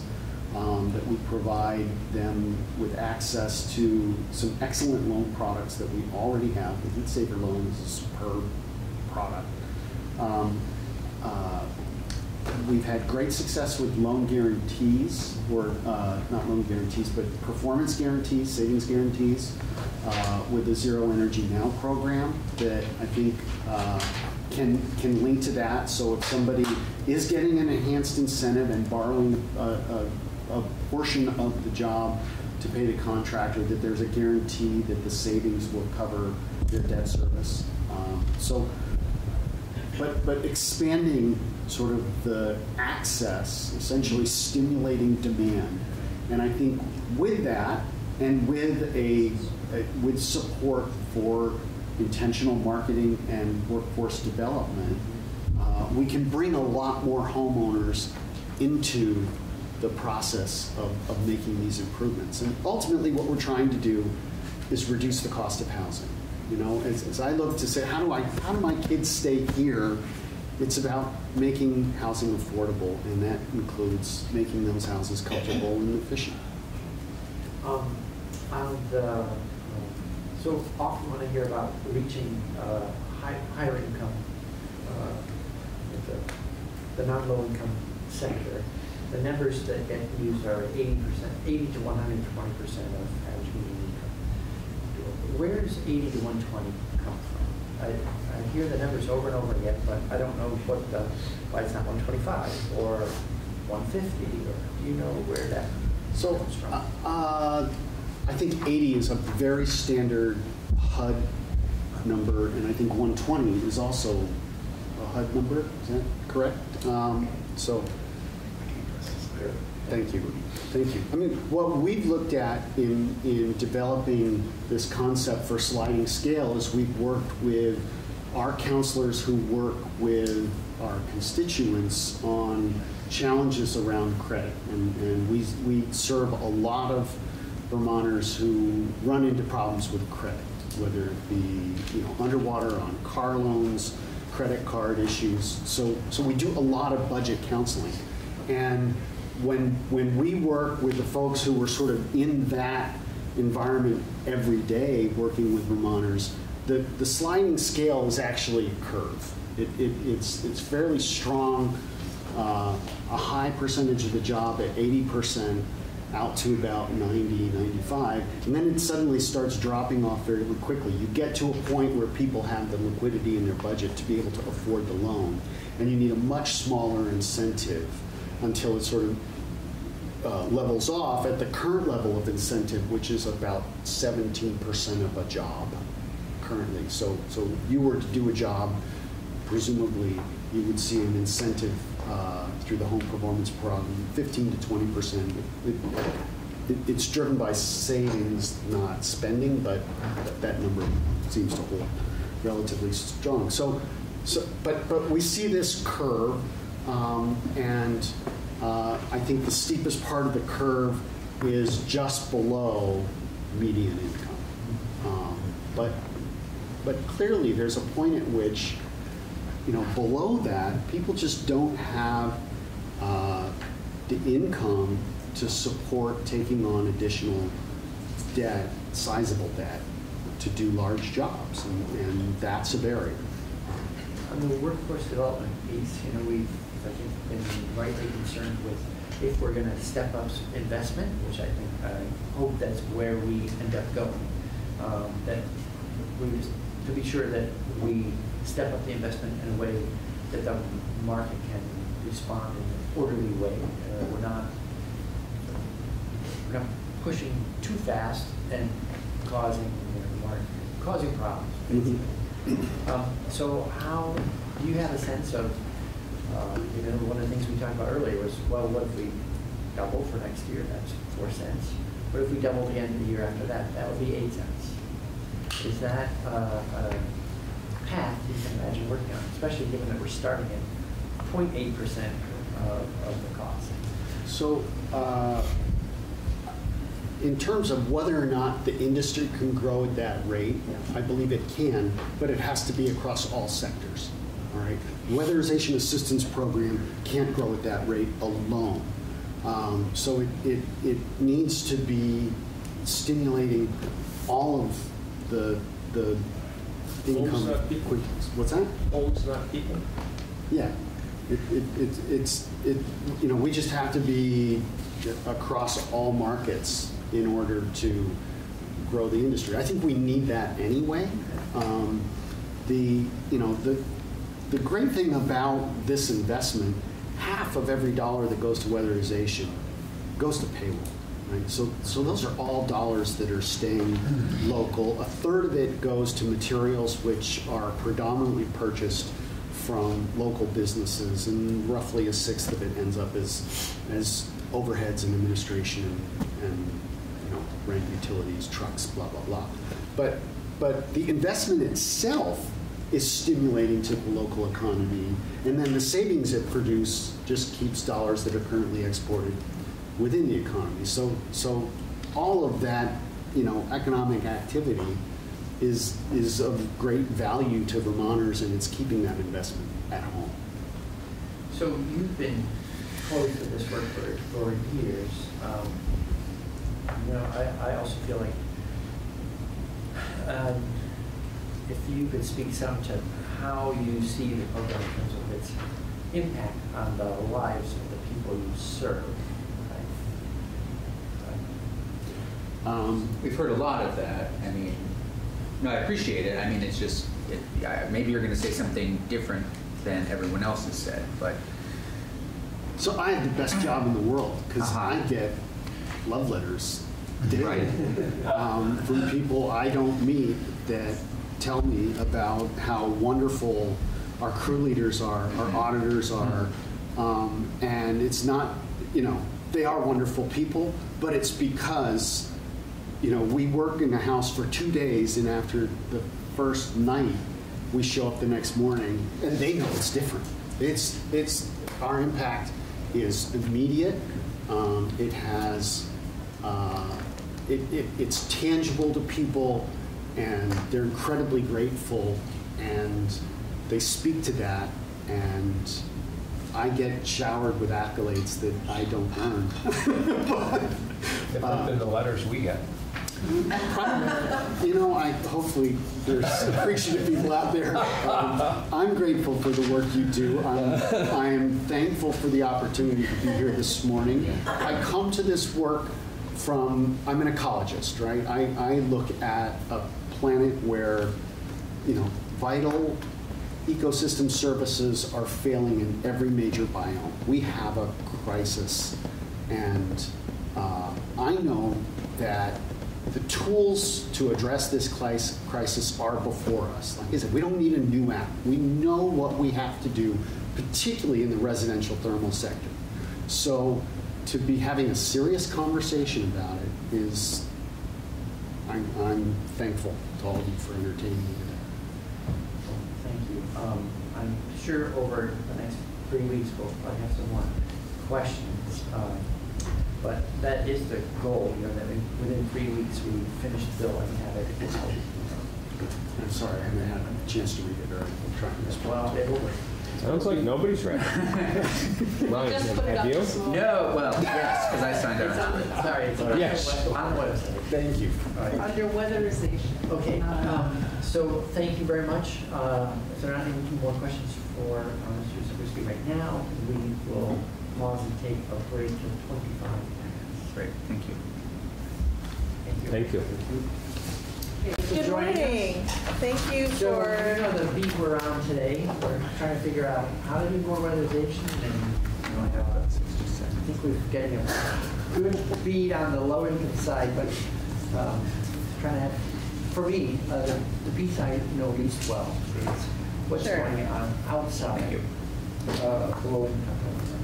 Great. So Abby White, Efficiency Vermont, here to talk about weatherization, and I wanted to frame up for you the system in Vermont and the different actors and how those actors interact with one another.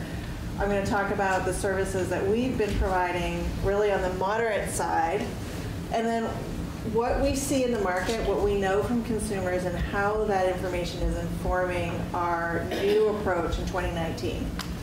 So it's a little wide ranging and happy to be interrupted at any point to take questions. So also this has been um, submitted to Jude, so it's posted. So apologies for the extra paper. But I just, so a bit of grounding, you're all quite familiar with Efficiency Vermont, but just the first slide, you're aware that we're a performance-based energy efficiency utility. Do you- Founded, Sorry to interrupt already. Do you have an extra? I have an extra, yes, for Ledge Council. Yes. All right, I think that's all the footnotes I have right now. Thank you. Okay. Um, yes, so we are administered uh, by the EIC, regulated by the Public Utility Commission as an energy efficiency utility, and we provide electric and thermal efficiency services throughout the state, with the exception of the city of Burlington, which is its own energy efficiency utility, um, as is Vermont Gas Systems, who's also here. And we provide those services to homeowners and businesses across uh, all sectors and regions of the state. So the next slide, I, I think it's important at times to zoom out a bit and understand the role that Efficiency Vermont plays in our state and our economy, um, some of which is visible to consumers and some of which is invisible. So if you look at this market adoption curve, this shows really just generally what does it take to bring um, new innovative technology to the state, bring it to scale, um, drive adoption, and then over time sunset that. And our role is really in this first part of the market adoption curve, where we're constantly looking for new technologies, new services, new designs of programs to help consumers change their behavior, whether it's purchasing a, a new product or services or, or doing something different in their home or business. So we're constantly scouting for those services. We're, we're sourcing the products, ensuring that they're optimized for Vermont's climate, Vermont's economy. We're developing the supply chain, so we're helping to ensure that distributors carry those products, that we have contractors who are well trained to install those products and provide those services. All of this happens before a consumer actually says, yes, I want to engage. So this is all behind the scenes, and this is really essential to driving adoption and to scaling. And that's why I presented it here, because the question that you've been asking is, how do we scale up services? And I think that Efficiency Vermont has been in this business of scaling services and driving technology adoption for the past 19 years. I think we're, we're poised to, to do that. We have the skills to do that. Just a quick question on this curve. So depending on the technology we're talking about, are you really covering all the, I mean, if we're talking about uh, energy efficient lighting, have you now talked to everyone from innovators to laggards? Yes, and so that's what, what we do, is once a product becomes mainstream, like the CFL was 10 years ago, and now the LED is today and has been for a couple of years, we remove our involvement from that market, take, move incentives away, because the market has evolved to the point where the price has come down, that's affordable, and then we deploy those resources elsewhere. Exactly. So that's just a bit of background. I want to focus on the next section, um, if you flip to the statewide weatherization system. So you've heard testimony uh, this morning and last week on where we are and meeting our goal, and this is just a, a visual way of looking at it. It comes from the Department of Public Service in their 2016 report, so it's not, um, doesn't account for 18 and 17. But you can just see here that uh, there's quite a, a gap between where we are, what we've achieved today, which is the blue bar, and uh, where we need to get to, which is the gray bar. So, Is there a version of that that breaks out the homes weatherized by type of weatherization program that delivers those flip the services? page. He already has. She That's why read his asked. mind.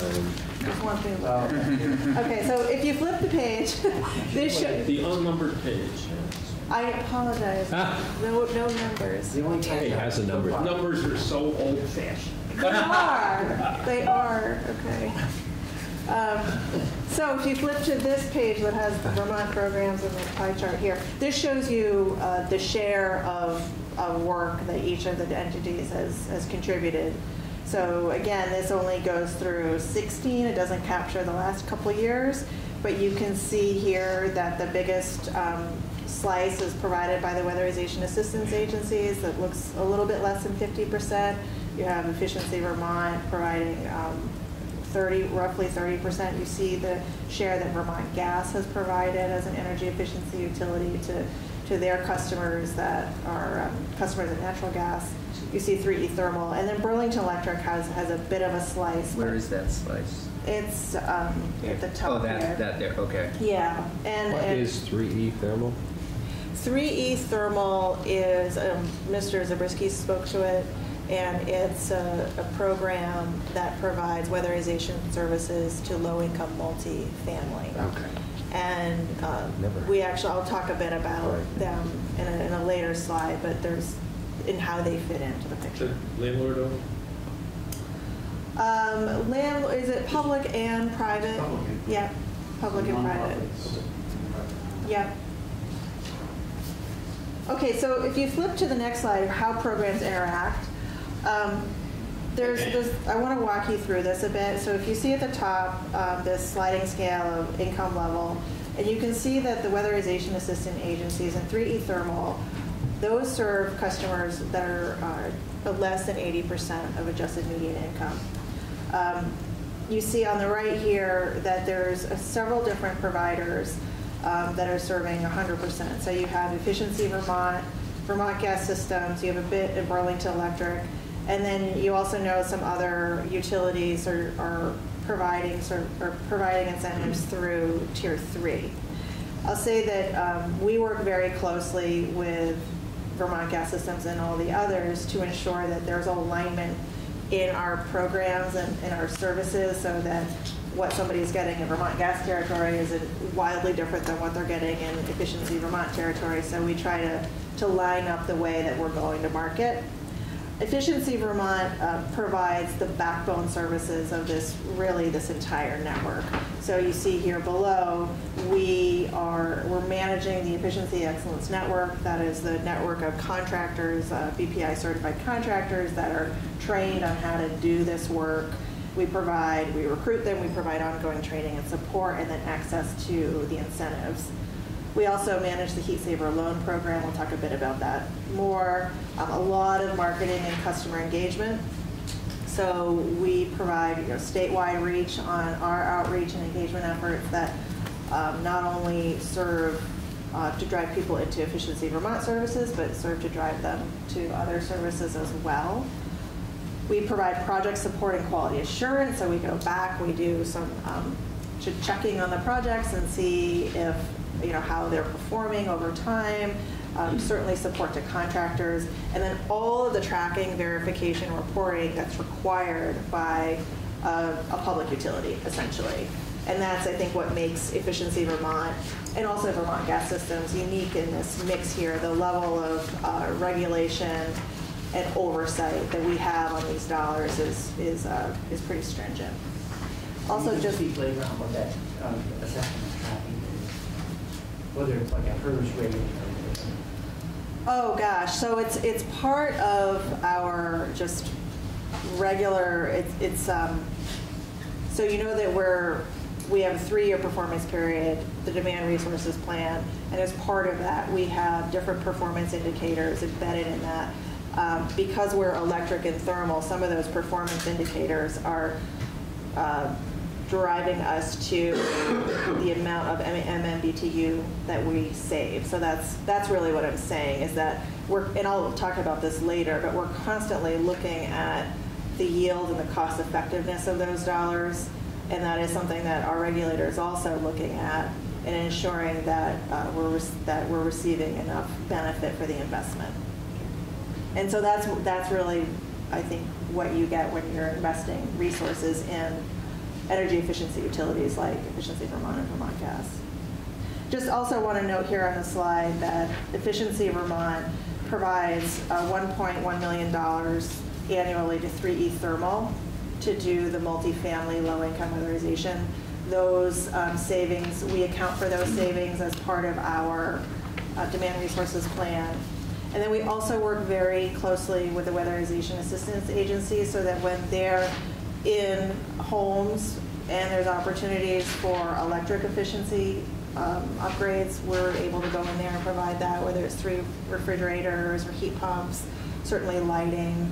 So we're definitely looking at ways to integrate and leverage our resources. We've been doing that for quite some time, but we're trying to innovate even more. Can I have a quick question on marketing and customer engagement? So Mr. Zabriskie was saying that, you know, they don't do any active outreach because they're on the waiting list. Why disappoint people? How do you more outreach? So, uh, but it sounded like part of the answer was, uh, if we do more outreach, we'll have a demand, it will help drive the program.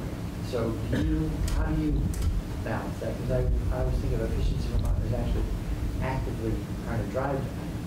Yes, we're- actively trying to drive demand. And Are you so Turning, turning people away? I mean, you are, are you limited because? we are, we are limited. Um, I will say that there's, there's a long lead time for projects. Um, A customer will take, it- it's not, it's not an impulse buy, right? It's not like my refrigerator broke and I need to go buy something, or I- I'm gonna, I'm at the store, I'm gonna pick up some light bulbs, right? This is, this is something that they decide over a period of time. So we need to be generating a lot of leads to lead to the conversion rates that we want and need. So, so the ongoing promotion and marketing reflects just, just the nature of the sales cycle for weatherization. Yeah. Okay, Uh, the one thing I also want to point out on this chart is the gap. And it's pretty, pretty obvious that there is a gap between 80 to 100. And, and if, Mr. Zabriskie may even say it's more like 60 to 100 with, with all the folks that are sitting on the waiting list. And so this, this gap, and again, our services are available to everybody, but the services through Efficiency Vermont require a customer match. They're not, it's not a full grant. So somebody has to have an ability to put some money on the table, either through their, you know, through their savings, or through financing. And uh, we know that customers at that 80 to 100% really don't have the ability to do that. Adjusted median income. Okay, so Yeah. it's of adjusted median Yeah. income. Where's that? Or annual median. I mean, Percentile. Never mind. Area median It's income. area, it's not Area. adjusted. It does get adjusted. It does get adjusted. Based on family size. Okay. So I want to just flip to the next charts here, talking um, to the thermal budgets and impacts. So the revenue that Efficiency Vermont deploys for weatherization and all thermal activity comes from the Regional Greenhouse Gas Initiative and the Forward Capacity Market. And this chart, the blue and the green chart, just shows you how that funding has changed over time. Um, The total amount that this represents is, is roughly $52 million since 2011. Um, It actually goes back to 2009. I don't, I just didn't have that data to bring to this, this chart here. Uh, And what we've been able to achieve through that is uh, eight, uh, 80, or sorry, 814,000 MMBTUs in savings and over uh, 209 million in lifetime savings to customers. Yeah, I'm sorry. So that This is from 5.2 From the forward capacity market and regional gas funds. This Yes. Separate and distinct from the nine percent tax. Yes. Which goes exclusively, Not the 9%. almost exclusively to. uh, Electric. Replacing electric components and occasionally, weatherizing electrically heated Yeah, rental apartments. yep. Yes, So we're, we have, there's a separation here. Many of our constituents don't understand, and many of us think we understand, but it gets fuzzy sometimes. yes, yes.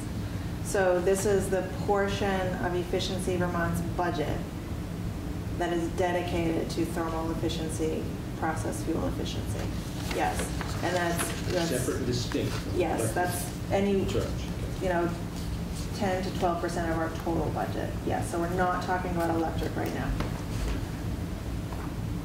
So one of the things I want to know um, is that this source of funding is trending downward, FCM and RGGI.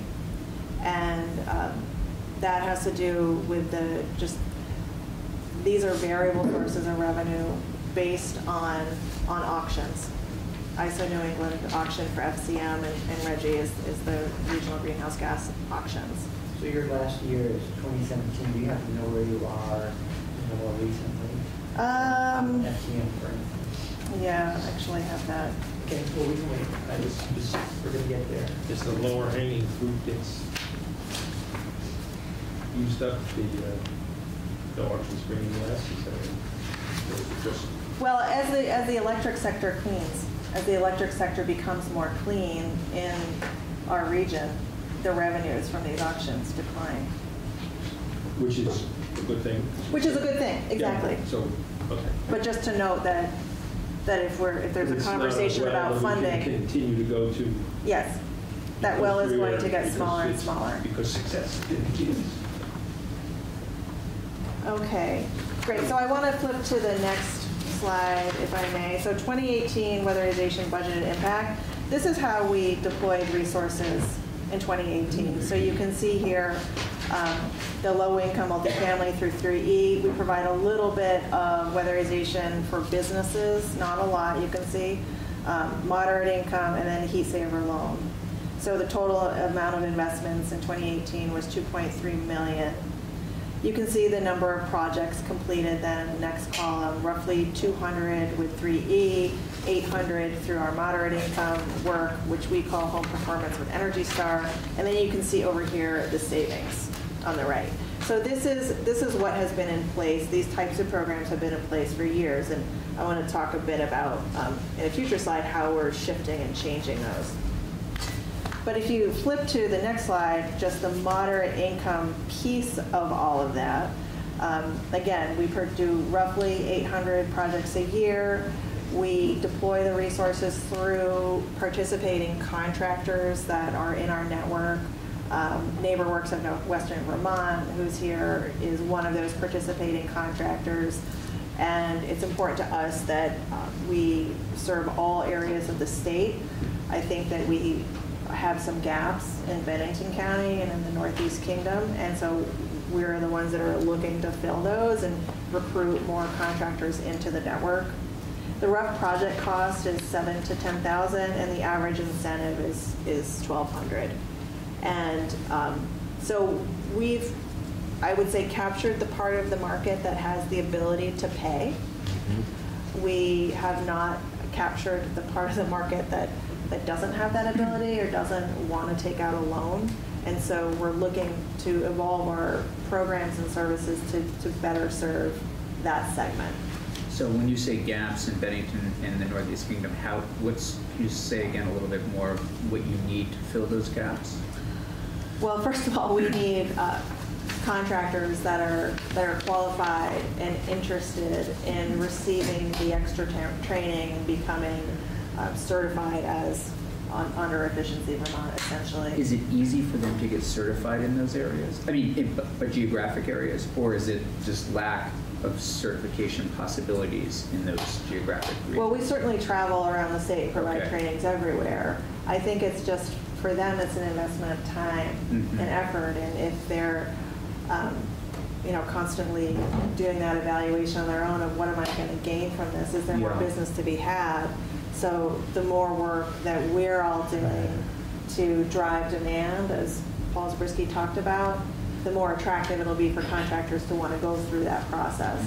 But a lot of the folks that are in our, our network, they're, they're, you know, general building contractors. Yeah. And they've just diversified their services to do weatherization as well. What do you- Can you, uh, general, I I don't know if you can say uh, what it costs to get that training and will- does it take days per? And does it take a thousand dollar investment in the program? Well, all the training is provided by free, um, free for Efficiency Vermont, but Paul, do you have a, So, uh, having been certified once upon a time, I would say it is a cash cost of between three thousand and five thousand dollars. Some subsidies to that are available. Uh, It's probably sixty hours, forty of it around class time, and twenty of it around time. Uh, And you know, to, to sort of spool up a crew dedicate this work is about a hundred thousand dollars between truck, equipment, diagnostic equipment, and the, the basic tool needed to, to roll the G. And you guys do it for free though. Yeah, I mean, we provide our, our efficiency Your excellence efficiency. trainings for free. Yeah, to become BPI certified is, is above and beyond that, but, yeah. Was helpful, I mean, it's a significant investment. It is. Yeah. It is. So I want to shift a bit and talk about the health impacts of weatherization. This has come up, but I wanted to present some numbers. Uh, There was a research, there was a report done by Ver- Vermont Department of Health, came out late last year. And so if you haven't seen that report, I definitely recommend a review of it. But one of the key findings is that the 10-year benefits per household that have um, weatherization measures and health measures done on top of that, the, the savings are almost three times the cost. And so this is the analysis that they've shown here. When I, when you talk about health plus weatherization, you're looking not only at air sealing and insulation and, and all the work that we would be doing and, and for weatherization, but you're looking at mold remediation, um, additional ventilation, um, pest and dust control, accessibility issues, asbestos. So you're going above and beyond.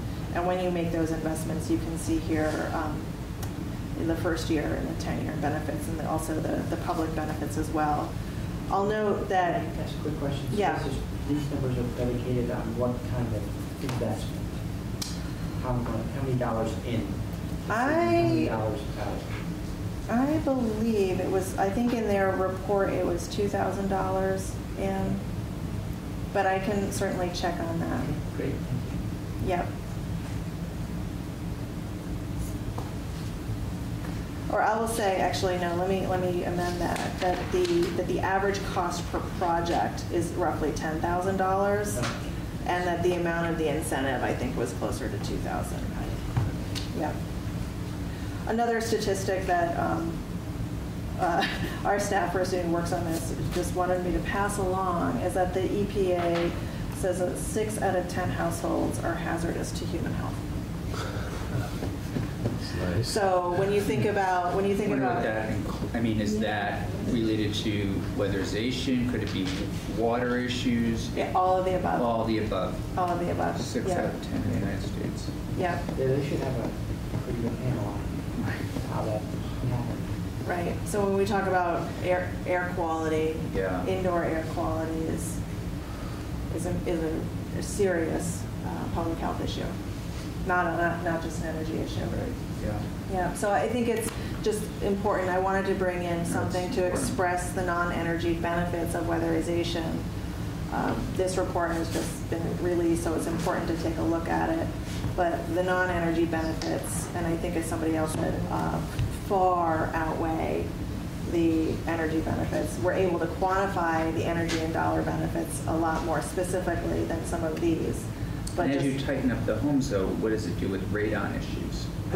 All of those things need to, if you're looking Yeah. at health, you have to, Right. you have to look at that. And it's one of the reasons that these projects are complex and expensive, Mhm. because the home is a, is a, is a living system. Mhm. And there's all types of, of chemicals and opportunities for, for problems in homes. So you end up addressing things like uh, air changes for hours, to tighten the home, but vent everything. Exactly. Exactly. My house is a lot healthier before it was installed. A lot of fresh air. around. There was a lot of fresh air. Well, that- And No, I've lived in there, yeah, I have some old problems in here. yeah. Yeah, but anyway. It's one, it's definitely one of the barriers to, to market adoption is the complexity. This isn't something that you can just say, you know, go to the store and purchase this off the shelf, because every home is different. And you need to ensure that the contractors that are working in the homes really understand the complexity. Mr. Chair, Mr. Zinn. Yes, sir. I'm, I'm worried when I see charts like this. Um, Which chart are you? This one, because it includes how, what you save in dollars to you expending for heat, and then it add- adds other, other health numbers in there which are, are, are different dollars. And to the extent that you can differentiate those two, this is what you save from heating, this is what it doesn't cost you, the the checks that you write or the cash you put in an envelope, and then separate the others as being added benefits it, when, it just is a tough one for people to digest. Like, wow, those things, I don't know, that's not really money, so. It's, Right. it's subtle, but it's, im- it's important when you're trying to interface with the public. I think the one to your point, part of the real challenge is it's not only the, they're avoided costs, they're not a tangible benefit. You did get sick because of something. Right. And who, you can't see it, so. There's a, there's a ton of work that's been done in this area, and I'm just trying to present like the tip of that iceberg, and I definitely encourage testimony, testimony from Yeah. VDH, yeah. Thank you. Icebergs are slippery slopes. Yes, indeed. Okay, so if you flip to the next page, um, project completions, I want to just share with you what we've been able to uh, complete through Efficiency Vermont since 2008, when the Regional Greenhouse Gas Initiative um, resources started flowing. So you can see a ramp up during um, the ARRA time period. And uh, NeighborWorks was a recipient of ARRA funding, and I'm sure Ludi Biddle can speak to this a, a bit, but they were really able to escalate their work during that. Um, $4 a gallon heating oil makes a difference. so you can see there, this, we remained high during that time, and then it, it kind of fell off. Now, talking just a bit about the way that we're approaching some of the, the barriers to engagement. So these are fairly obvious, but there's data and research to support all of this. Um, upfront cost, contractor availability and, and skill, awareness of the benefits, and then, as I said, the complexity of weatherization. Uh, we're, we're trying to sell people on getting a root canal, right? Right. It, it, you know, y- it'll feel good when it's done. Right. But it's, it's not a pleasant process to Yeah. go through. I'm just being honest Yeah, about it. no, right. And part of my job in, within marketing is always trying to figure out, well, how do I make it not seem like a root canal? So it's Last night, just, I ask myself that every morning before I come into committee. Oh, I hope not today. I hope today. And, and you were okay. you were the reason today. Thanks. Less So painful. Okay. And all of our other fabulous businesses. So just a quick bit on the research we have. So we know that customers are interested in making their homes more efficient, and that the reasons why um, replacement of broken equipment and to be more comfortable. So you see here, saving money is a little bit down, cutting energy use. So we have to be mindful that the things that they're looking to achieve and gain are, are not always monetary or related to the things that we care about, like greenhouse gas emissions. Um, if you flip to the next one, um, uh, many people have improved most of the things that they can or they think that they have, but yet they don't know what's available to them. And this is this is always surprising to me as, as a person who's trying to get the message out there that we're, we're doing we're putting a lot of effort behind promotion and awareness and engagement, and still it's something that's not registering for people um, there's definitely an awareness gap. We also know that people want to do a lot of the work on their own, so we're figuring out how we can support those people. And I'm going quickly. Okay. So I want to say, what's, what's new for 2019? So we are, if you look on this x-axis here, this is income level going from low to, to moderate to high, and then comprehensiveness of the jobs.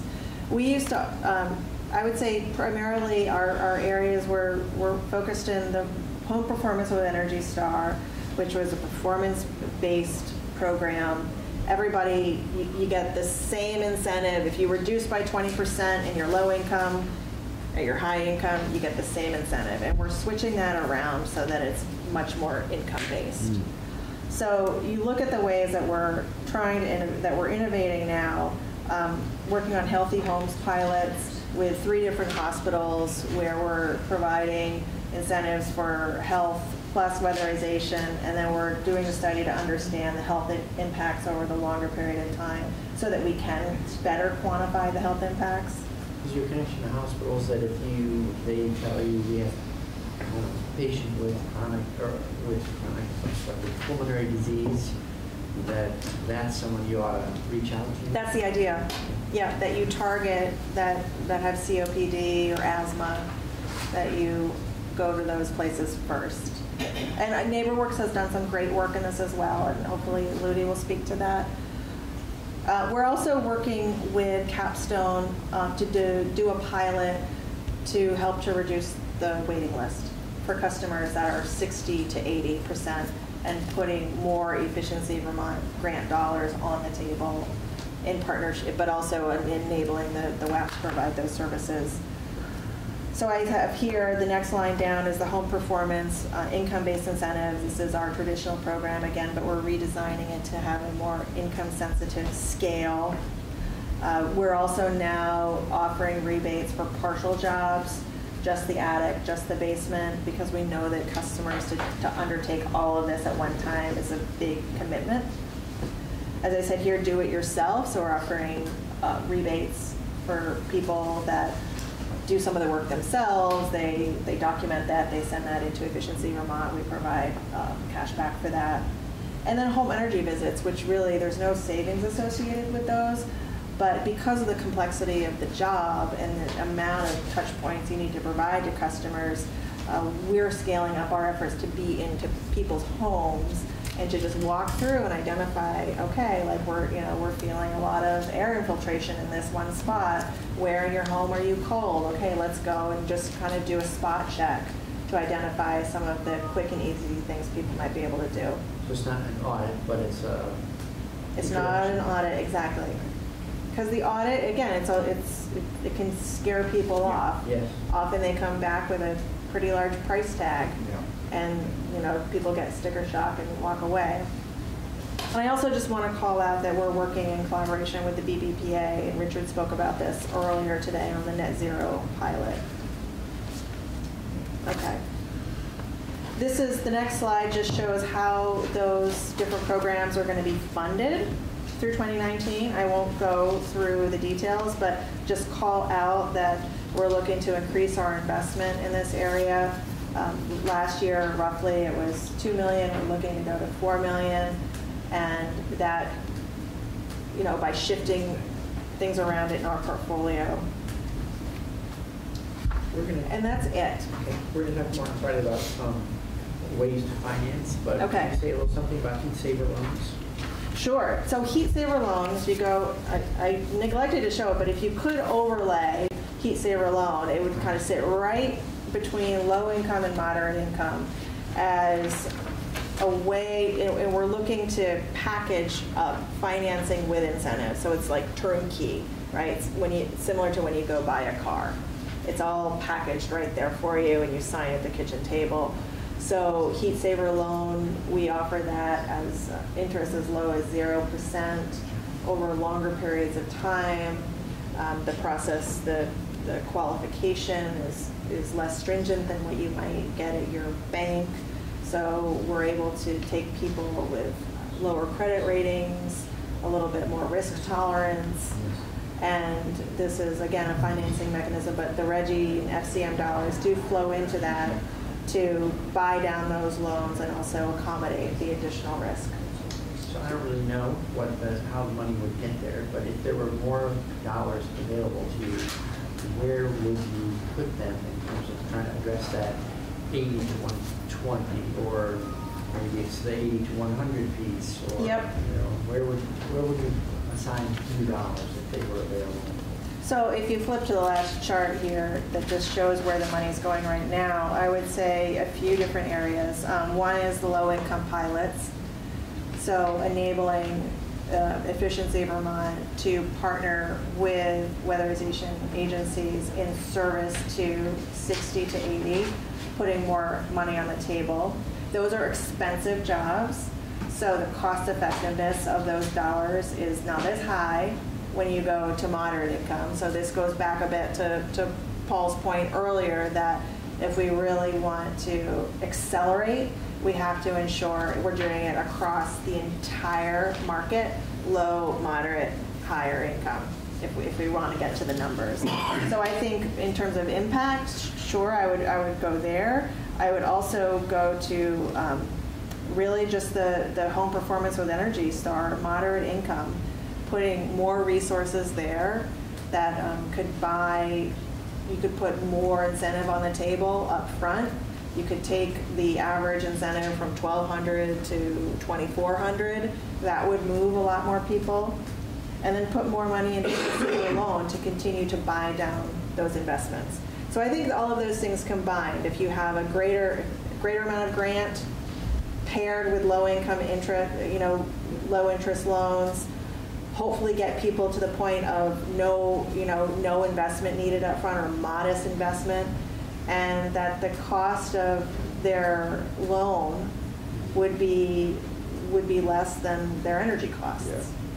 So you make it, you know, Yeah. revenue neutral or revenue positive for them on a month-to-month basis. Great system if you can show them the numbers and convince people that that investment will pay for itself. Yeah, and we've been doing that model with financing with businesses for a long time now. Mm-hmm. Because businesses, that, that matters, right? The, the monthly Bottom cash line. flow. Yep, yep. Great. Well, thank you very much. Thank you. It's been very Thank you. helpful. All right, This, great. this, all of this is over capacity and and greenhouse gas. Yes.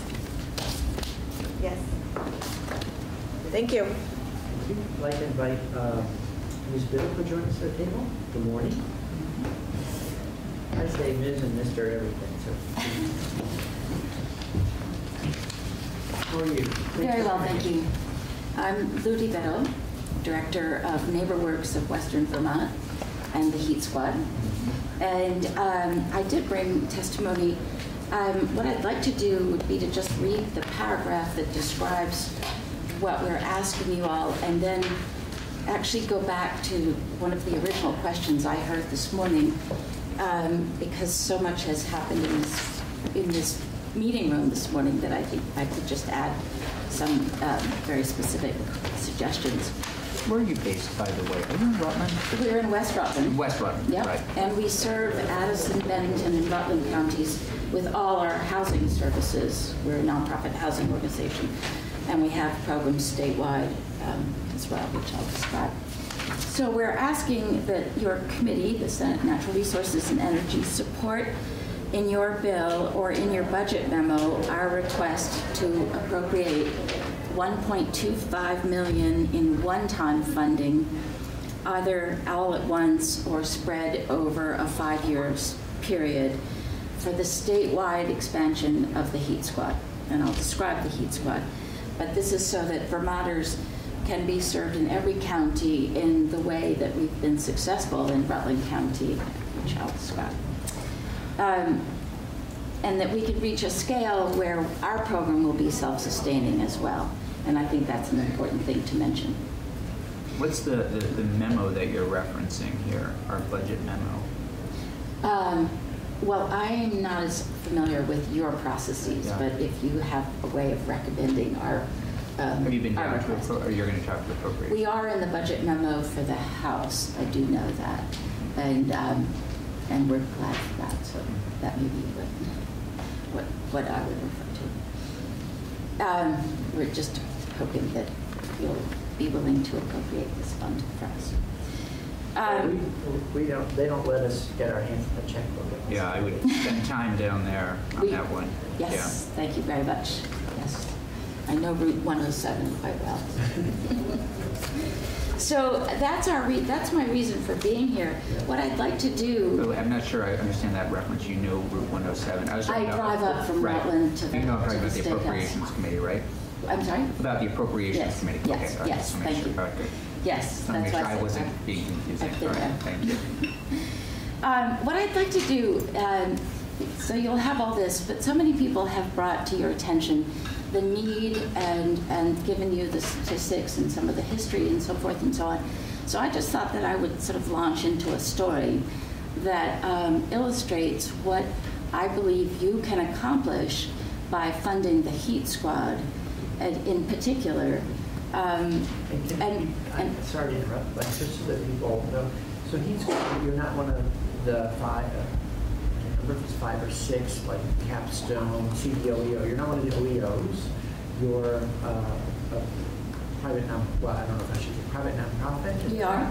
The NeighborWorks is a private nonprofit housing organization founded in 1986, and our mission has always been affordable housing um, throughout. And a few years ago, um, we acknowledged and were very pleased to discover that energy efficiency and weatherization was an immediate um, way to provide affordable housing. In other words, if you drop the cost of heating, um, you help the, the, the households who most need it very quickly. And- We receive. one other quick question. Yeah. Sorry, do you receive state funding currently? We do not, we receive state funding for our housing programs from the, from the block grant program, not for weatherization. We do not have any state funding right now for our heat squad, which is a specific weatherization effort. And how do you, so how have you been these? In the past, in um, 2010 until 2014, we had a very generous grant from the Department of Energy um, during the ARRA years. We had $4.5 million. And with that, we started the Heat Squad. Um, the um, we had represented to the as an applicant to this program at, at the Department of Energy that we would uh, retrofit a thousand households in Rutland County over a three-year period. And in fact, that comment got a lot of um, giggles, I think, from the grant readers, but they agreed to, to give us the money to see if we could do it. Um, there had been nine retrofits in Rutland County the year before. And in over a three-year period, we did in fact retrofit a thousand households in Rutland County. 60% of them were under 120% area median income. So that's pretty significant for Rutland County. Those households to this every year are saving about a million dollars, which is like a million mm. dollar grant to, to the county. To, to, Well, thanks. I, before you, I didn't want to stop. in No, that's story, exactly what I thought wanted just to- so we to share. Know who you are and how you're gotten, what you're doing compared to. Yes. So we are not, we are not a weatherization program, and we deal, um, we work most specifically with that group that is not served by the weatherization programs, but uh, up to 120, the moderate income households who need the help as much as anybody, um, but are not in, in line for the, um, for the free, free services. We, um, so you asked um, earlier, what are some of the obstacles? Why haven't we progressed faster at this? And Abby pointed out too that when we had this very generous funding from DOE, there was this significant bump, and we're suggesting that we could have another significant bump with this kind of investment again. What we do um, is address the obstacles in, if you will, human behavior. There are a lot of others, financing, whatever, but what uh, we do, because we're a housing organization and we're very familiar with working with these households, the first thing we did was drop the, the audit cost, which is a huge sort of initial barrier. So we dropped the cost to $50, we raised it to 100 and right now it's between 100 and 150 in two places. That is, that's significant. Um, we also explain, so from there, we provide this customer service. We explain to our households in very direct, labor intensive outreach the science and technology. It's confusing, it's new. Nobody understands why they should have an audit, what it will tell them, what they'll do with it.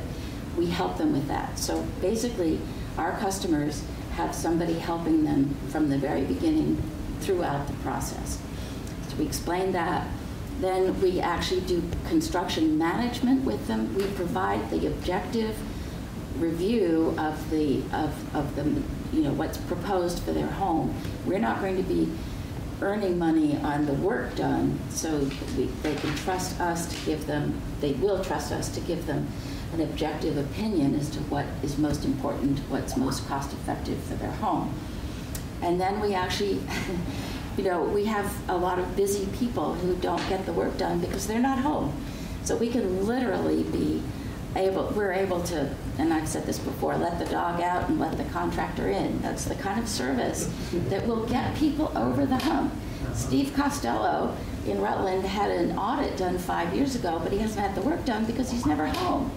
And we can overcome those problems for people. And if you do that, you get further along. It's not that we've added so much money to the to the um, to the customer. We've added the assistance to the customer, and particularly the ones who are more challenged to get this work done.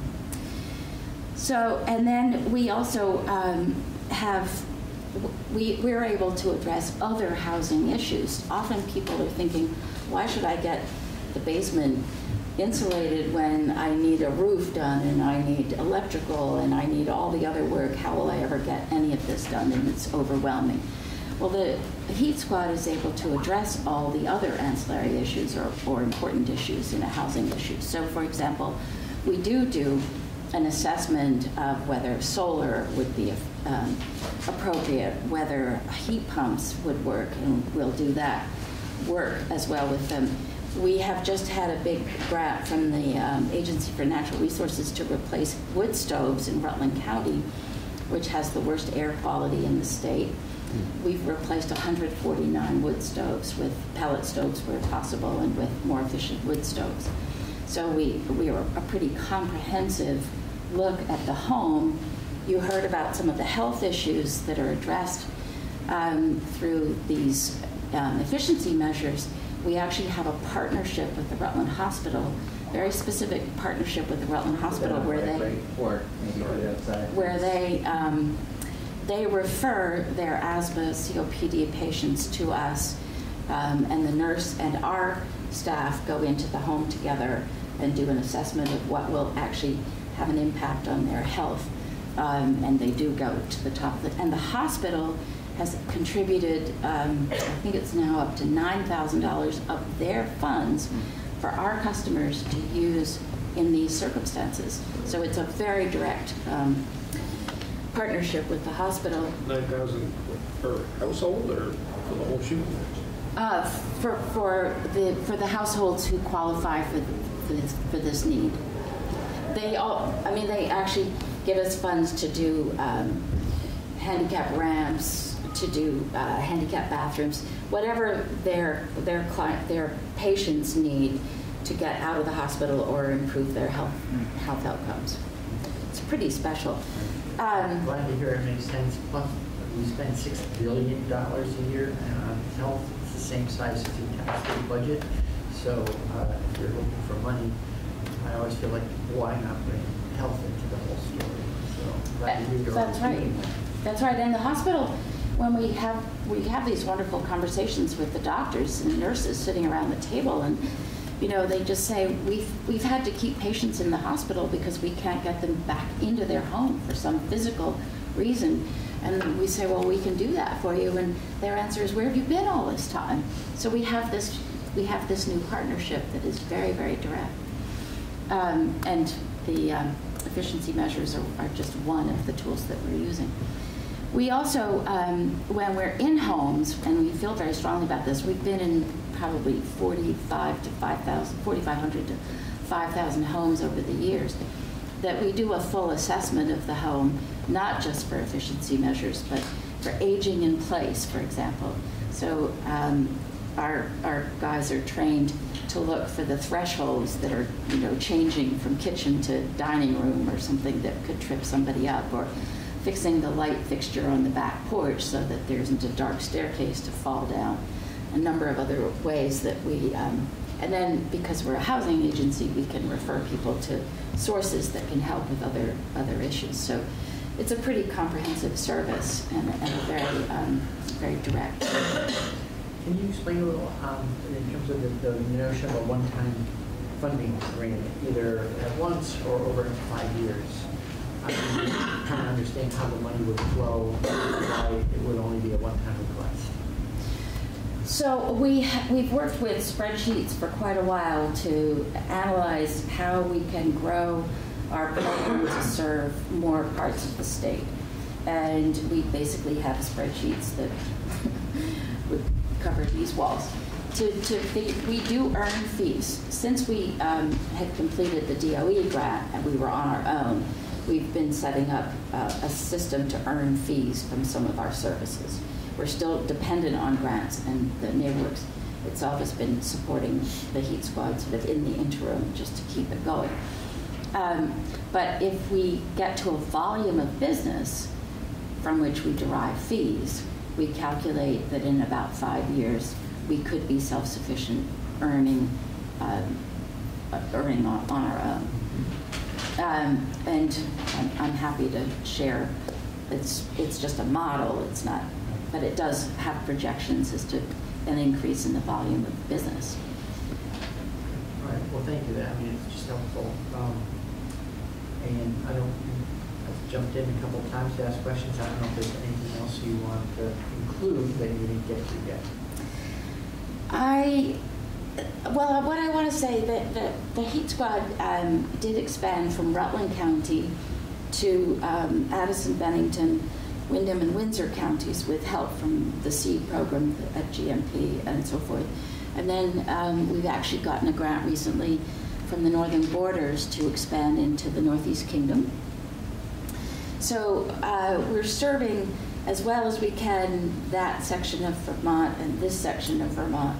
What we're trying to do is scale back up to the, the level that we achieved very quickly with the DOE funding and, um, and provide, as I've said also in other testimony, Rutland in this case got the big red apple. You know, it got, it got a program that has saved enormous amounts of money for the residents and the residents who need it the most.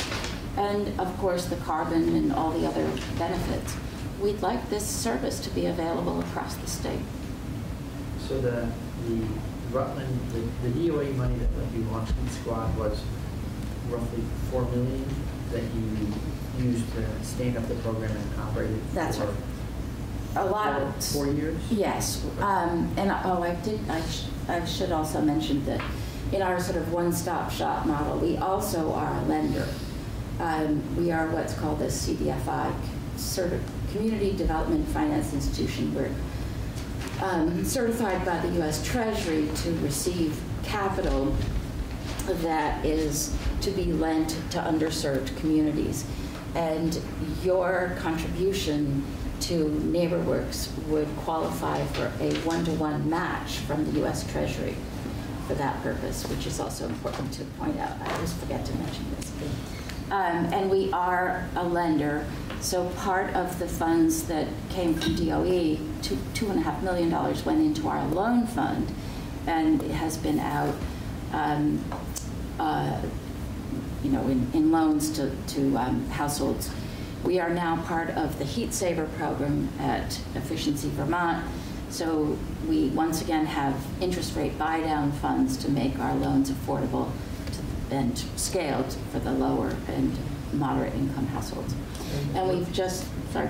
Oh, go ahead. And we've just uh, also been approved by our state treasurer to receive another million dollars um, in loan capital from her $5 million that was approved last year to, um, to capitalize our loan fund. Um, well, thank you very much. Thank you. Thank you. I'd like to uh, invite Mr. Murray to join us at the table. He's, like to just switch it up. a little bit. Mr. Murray, go. Good morning. Uh, Thank you. Uh, Chair. Uh, I'm Tom Murray with Vermont Gas Systems. I do have a quick uh, presentation I'd like to go through. I am mindful of time. You guys talked about this for a while, so I will try to be um, fast. And I have been accused of being too, too uh, speedy in these things, but I don't, that'll- in at this that won't bother you guys at this point. Um, And then I have a few copies to hand around for the audience. Committee assistant. Anyone wants to, she's got the electronic one as well. All right. Um, So as uh, Abby from uh, Efficiency Vermont had mentioned, we are an efficiency utility at Vermont Gas. We've got 50,000 customers. So if you are a customer of Vermont Gas in Chittenden, Franklin, or Addison County, um, if you want to have your home insulated or you want to embark down that path, uh, we're the, we're the entity that will provide that. We work closely with EVT, and basically they do the electric efficiency measures. We do the thermal efficiency measures, and we partner on a bunch of different opportunities. We've been doing it for a long time. About 48, $40 million of investment we've made over those years, a lot, a lot of installations. That includes rebates on equipment and, and insulating homes. Um, When you add up all those savings, it's over 300,000 metric tons of uh, carbon reductions uh, for for Vermont. It's pretty, pretty significant. Um, You know, the next slide, real quickly, is this house slide, which really is a powerful story, and it's, it kind of culminates on a lot of the stuff uh, that we've talked about today, but the power of energy efficiency uh, with uh, kind of a a bundle of measures. So if you convert from oil to natural gas, you reduce your, your carbon emissions by 23% because natural gas is cleaner than oil. If you uh, replace your equipment with a natural gas high efficiency system, typically your oil, oil, oil one was at 70, 75% efficiency. High efficiency natural gas is at 95%. So you're gaining 20% efficiency. Insulate your home. On average, you can save upwards of 20 or even more percent on in your home. Even things as small as a small thermostat. So what we like to say is we have our customers on a pathway to uh, reaching the 2030 uh, goals in the energy plan by reducing carbon by 40%. And frankly, we, we're well on our way to the, to the 2050 goals. Um, and I haven't even talked about the costs here. I was just talking about carbon there. But if you look at the cost in that other column, it's significant savings. So you can get all these benefits and actually have a reduction in your overall cost. So it's a, it's a compelling story, and really that kind of sums up a lot of what we do. The rest of the stuff, again, I said I was going to be. Uh, Quick question. Yep. So on, uh, on the natural gas conversion, carbon emissions down 22%, those are, that's a burner tip? That's a burner tip number. That's the EPA numbers at the burner tip. Yep. And uh, um, the uh, just quickly uh. We're a little different than some of the other efficiency providers. You know, we actually have an, our own team of auditors. Um, so we actually, when you call us up, we send out one of our folks. Uh, they will do a blower door test. This, for you know, this is a blower door unit here, uh, and they'll give you a full audit report. These are all, uh, much like with Paul's team, you know, BPI certified, uh, long-term experience auditors. They'll give you a full report with a list of measures you can do. Um, and uh, if you want to move forward, you can move forward on your own, and, and we'll give you the incentives and help you finance it. If you want to have us do what we call fast track, we'll actually help you get the contractors and line it up and really project manage it for customers. That's been very successful because I think many of you folks know. Uh, just delivering the audit is just one thing, but actually getting somebody to move forward with the full project. So we, we encourage people to embrace that. Our, our grants or incentives are, uh, they can be upwards of 50% on a project. So if you've got a, a $10,000 project, you can get potentially upwards of $5,000 depending on the, how, how much of that screens. Um, and uh, uh, for, for low-income folks, we actually work with the WAP programs in uh, the CVOEO folks. So uh, WAP will fund uh, 50% out of the WAP funding, we'll actually fund the other 50%. So for that customer in Chittenden County, they can get a free weatherization job. Um, we also offer zero interest financing.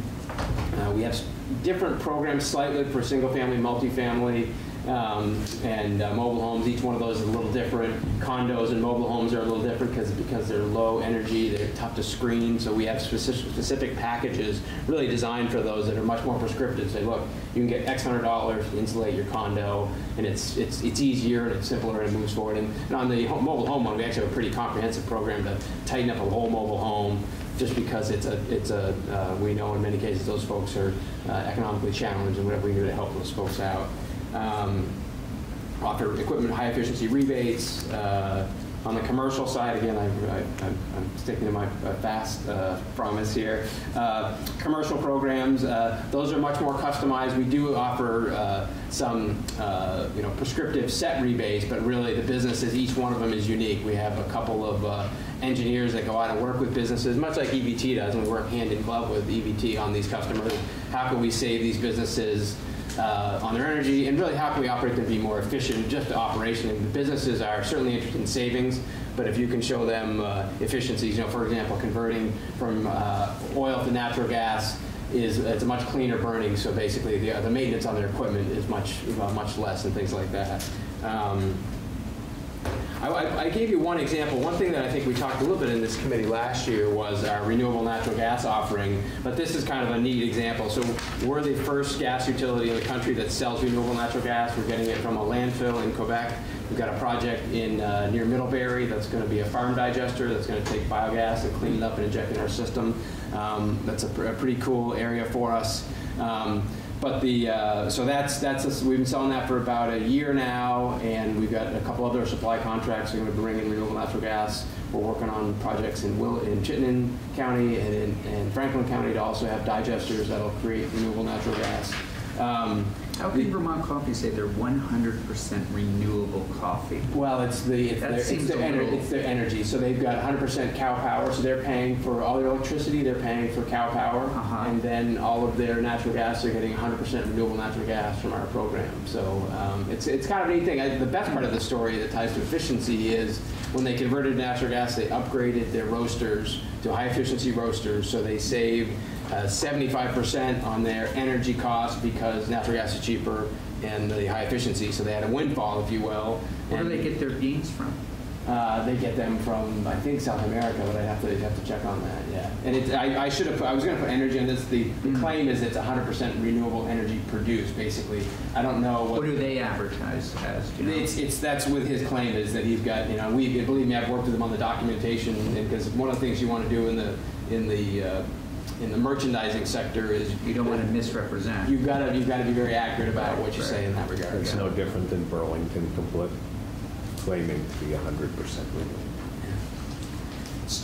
So again, I, We I might have, yeah, we might have him in. Yeah, he'd love to talk about it. Yeah, he'd love to talk about it. He's, he's been uh, so he got a, a you know you obviously you know Paul obviously uh, Ralston. Who is it? Uh, Paul Ralston, who is a representative for. Oh, yeah, yeah. And so Paul's uh, um, he's been a real uh, advocate for this, and uh, really it's and it's renewable natural gas is one piece of it, but just the concept of taking your savings and Right. investing them, if you can, mind you, not your average homeowner can't do this, but investing them in something innovative. In his case, it was But he says 100% renewable coffee. well, I said that, no, it's Okay. renewable energy. Because I- What does I- it have in his bag? I think it says coffee. Yeah, well, I'd have to check on that, but my, my point. Well, don't is- worry about it. We'll have the AG look into I'll- it. I'll send you that, I appreciate that, thanks, Frank. Yeah, yeah.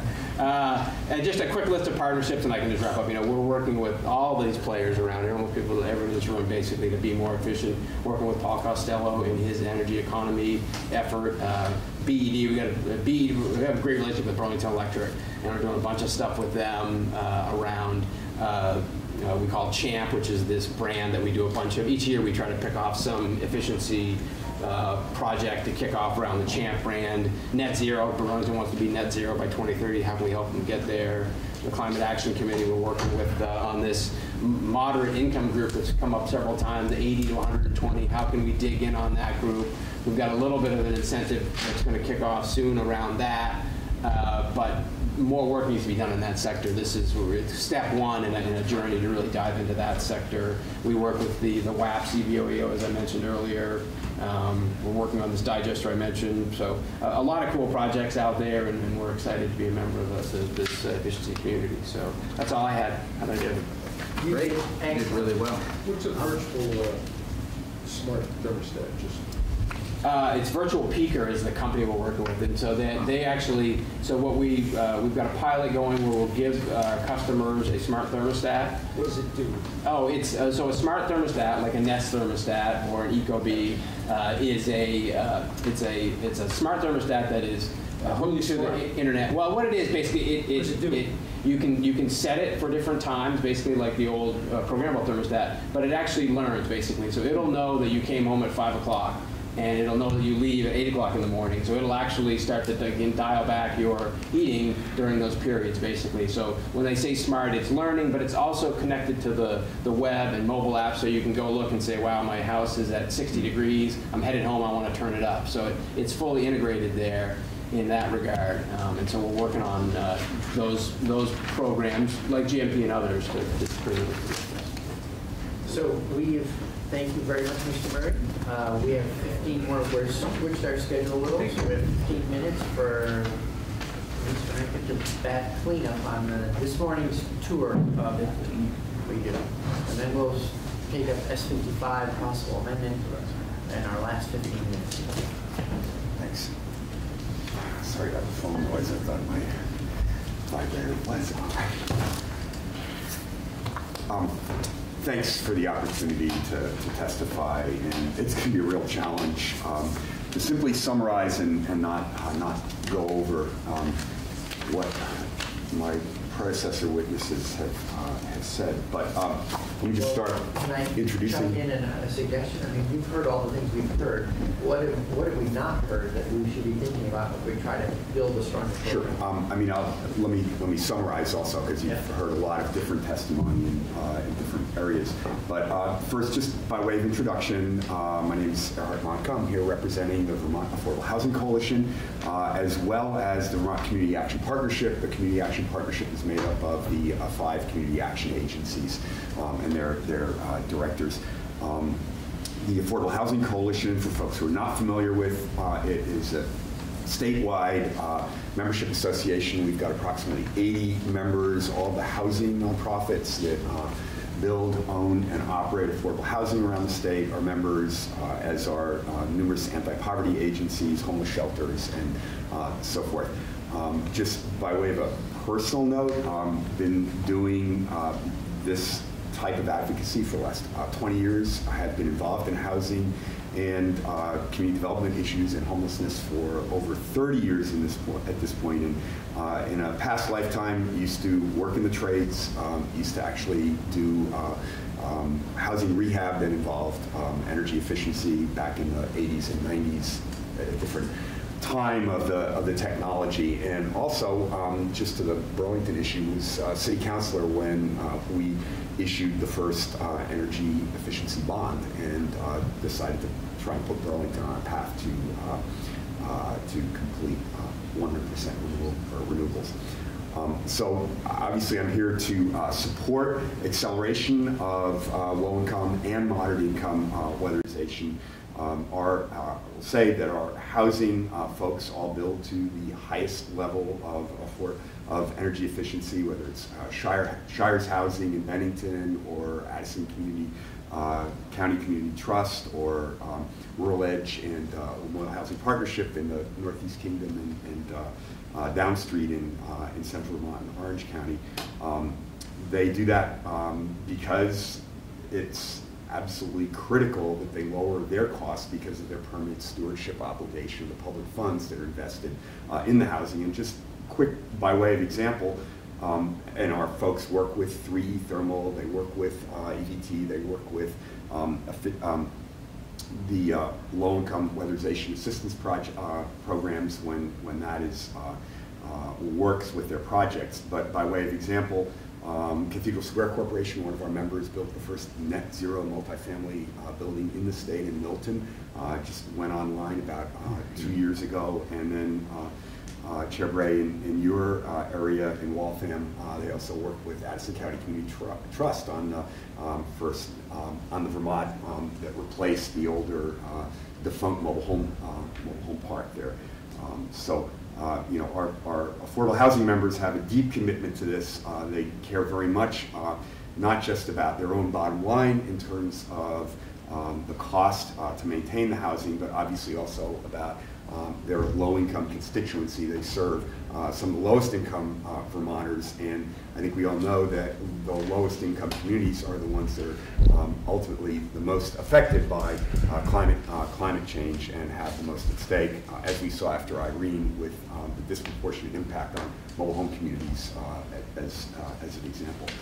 So low-income Vermonters really are disproportionately affected by, by climate change, and that's one of the reasons that uh, our, our coalition is uh, joined a broader coalition of climate advocates to uh, advocate not just for uh, weatherization, uh, accelerated weatherization, but also for a broad uh, climate change uh, agenda. Um, So as I said, we, we do support doubling um, the funding um, for both low and moderate income. Um, I don't know if you folks have seen this particular handout. Um, I'll just pass it around. Um, It summarizes the um, weatherization asks um, that you have heard, um, that you have heard before, uh, but just briefly to summarize, uh, you know, weatherization does keep money in our state's economy. Uh, It helps support jobs, grows, uh, grows, grows the economy, keeps the money in state, um, assists the most vulnerable Vermonters, um, obviously reduces greenhouse gas emissions, and uh, helps us to move forward on our state's climate commitments, which we are obviously woefully behind on. Um, There are multiple benefits, as you've heard. Uh, It's not just thermal efficiency, it's housing safety, uh, housing health. Uh, It's a low-income health. Uh, Abby talked a little bit about um, some of the health benefits, and the health department um, report that she referenced uh, actually put together a really excellent one-pager uh, that I'll hand out uh, now. Uh, I think Jeff Wilcox referenced it yesterday, but didn't really get a chance to, to talk about it. Um, so this report clearly shows that there are general health benefits, uh, benefits for people's productivity, uh, especially um, upper respiratory health, uh, asthma, cardiovascular. I'm uh, looking at the box in the lower hand, uh, right-hand uh, portion of, of the handout. Um, and we just find this report incredibly compelling, and uh, this fact sheet, I think, really um, states, highlights well what, what the benefits are um, from a health, uh, from a health standpoint. Um, So I'll also just simply add that, um, I don't know if folks um, were, uh, saw this in the fall when VPR, leading up to the elections, uh, did uh, their survey of what are the greatest financial stressors in uh, Vermont, uh, the lives of Vermonters. Uh, Overwhelmingly, about a third of the Vermonters surveyed said housing costs are their greatest financial stressor. Um, Property taxes, which we often think of as a huge stressor and hear that it's a huge stressor, uh, was a distant second with 18% of the respondents. Um, Energy is a huge component of that housing cost and it makes up that financial stressor. Um, So uh, just um, summarized by uh, outlining uh, our, uh, our ask once again, uh, which is first and foremost um, to reauthorize low-income, low-income weatherization um, for the weatherization assistance programs. And Reauthorize? Oh, reauthorize. It sunsets uh, June 30th. Is it You like zero? yeah, um, you, when, when you worked on this, when the General Assembly restructured the fuel taxes uh, three years ago, it was sun, uh, there was a three-year sunset built in, um, so it sunsets June 30th, uh, 2019. So first and foremost, our ask is to reauthorize low-income weatherization to protect um, those. Thank you. Um, those five uh, five programs. Um, Typically, reauthorization has sometimes been three years, sometimes been five years. Uh, This has been around long enough, uh, we would ask that it be reauthorized permanently, that the sunset simply be removed um, for the low-income component. Um, And as you consider an increase, um, a step, hopefully a step increase, um, that you kind of draw a circle around whatever um, is dedicated to low-income weatherization, um, so that it's clear that uh, that the existing, um, the existing fuel taxes, the existing revenues for low-income weatherization are dedicated to uh, the weatherization assistance program, and that any incremental uh, increase um, also clearly be dedicated to them um, through the uh, Home Weatherization Assistance Fund, which is a special fund within, uh, within the state's funds. Um, So that's, that's our, our first uh, and foremost ask. The second ask, um, as you heard from uh, Richard Faesy earlier and other uh, witnesses, um, you know, we've worked together uh, to come up with a way to meet uh, the governor's climate change recommendation to double the number of units. It can't just be done by low-income weatherization. It needs to be done in concert with moderate-income weatherization uh, through uh, Efficiency Vermont, through uh, 3E Thermal, including also through uh, the programs that um, of Western Vermont um, runs. Um, and our proposal is uh, to increase it, the fuel tax, two cents per gallon um, next year, and then again, two cents per gallon the following year, and uh, for Vermont gas to go from 0.75% gross receipts tax to 1.5 uh, next year, and then uh, 2.25 um, the year after, which would effectively double uh, what is currently dedicated to low-income weatherization, um, but would then um, distribute that uh, somewhat, uh, somewhat differently. Uh, in our analysis, um, to get to the uh, 4,000 units uh, per year uh, weatherized, uh, we would see 35% of um, the new, um, new funds, the new revenues, go to low-income weatherization, 40% to the 60 to 120% of median, area median income band, um, which I can, I, um, took note of the question earlier, I can address that uh, briefly in a moment. Um, so 40% uh, to more moderate income, uh, 5% to the affordable multifamily housing developments assist, assisted through 3E Thermal, and, and most of those are um, the more complex uh, projects that uh, our nonprofit members uh, do. 10% for um, existing uh, market rate thermal conversion measures, and uh, up to 10% for workforce development and uh, expanded marketing, especially in uh, rural and, and harder to se- uh, serve areas and for the uh, more moderate, uh, moderate income band. Um, I'll just briefly uh, address the question of, you know, where does the uh, 80 to 120% come from? Uh, Generally, that, uh, anything below 80% is considered by HUD and in the housing world as um, lower, lower income um, for a variety of federal programs. Um, 80 to 120 percent is generally considered in the housing community, uh, the uh, anti-poverty community, with um, e- equal to a more moderate income range. And the state context for that is that um, the governor's um, Housing for All revenue bond that you all passed uh, two years ago that uh, went through VHCB and that is busy being spent in producing affordable housing uh, all over the state. Um, that uh, the governor and the proposal reserved uh, a certain percentage for the 80 to 120 percent band. And uh, for uh, VHCB's uh, assistance to homeownership, uh, statutory, um, their statutory limit is to serve people up to 120 percent. So that's generally where the, the 120 percent uh, standard uh, comes from. Uh, Senator MacDonald? Um, How has it come to pass that in Vermont, the law demands electric consumers to contribute nine percent for every dollar they spend on electricity to efficiency? And for heating oil, the number is less than one percent. Who's, who's- is the legislature responsible for that? Um, I don't really have a clear answer for you, Senator. You've I- been working on this for a long time.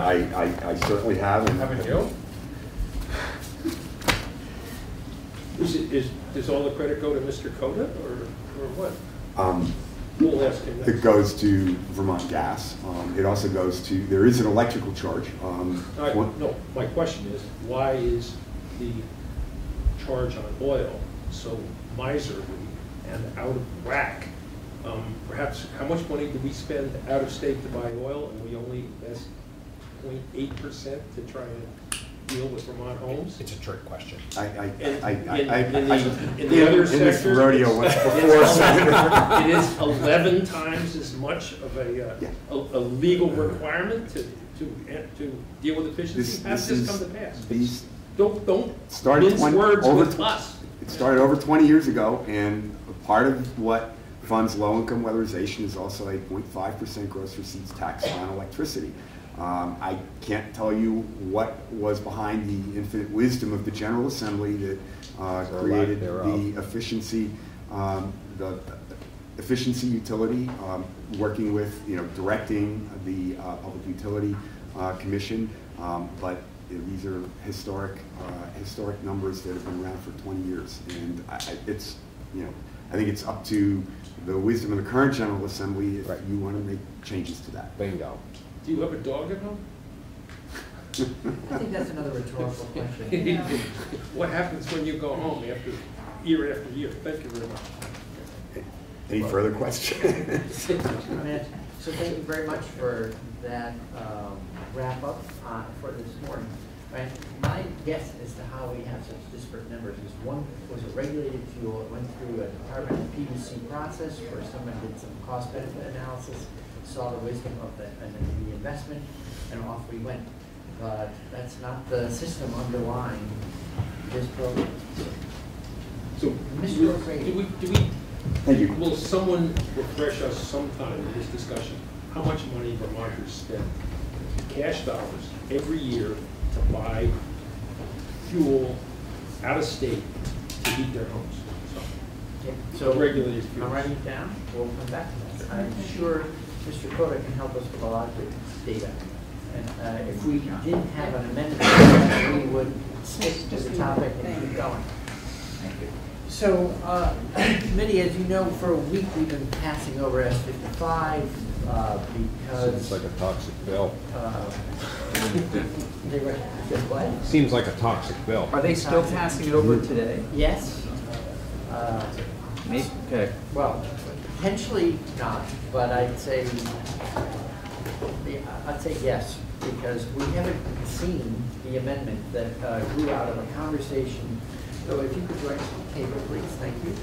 And um, as folks know, I think it's two years ago, feels like longer.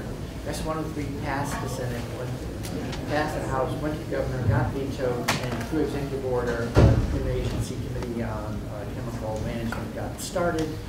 And uh, meanwhile, I think senators and others stayed interested in doing it statutorily rather than through the order. So we're moving S fifty-five to do the same thing in essence that S one oh three did before.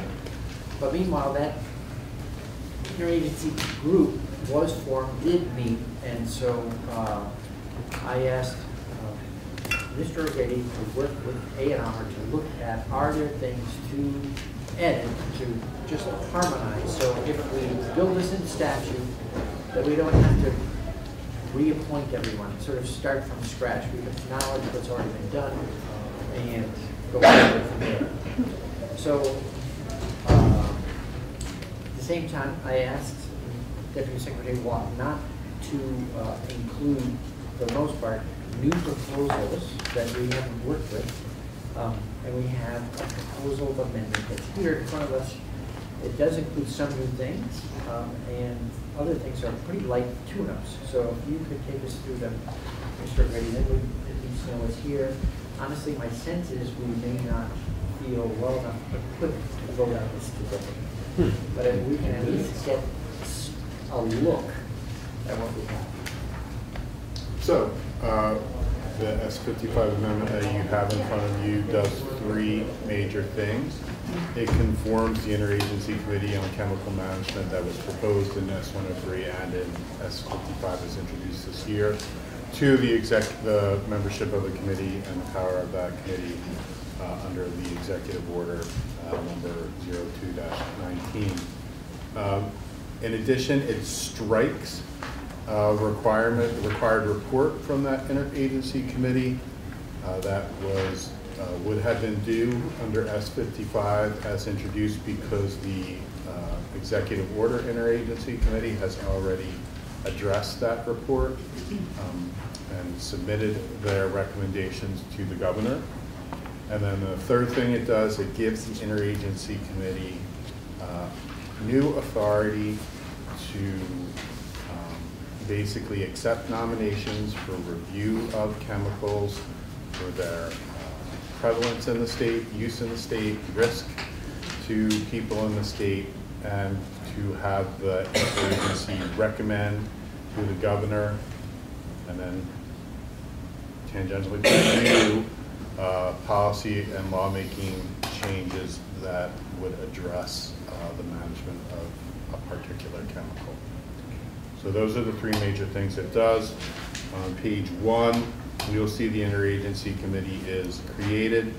Uh, its purposes, uh, lines 9 through 15, remain the same. Um, They're unchanged. The membership is largely the same.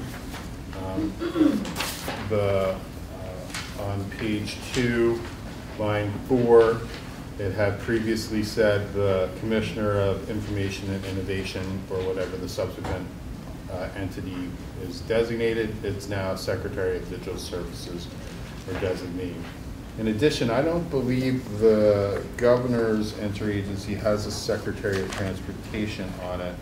And so that, that would be um, one additional difference from the executive order.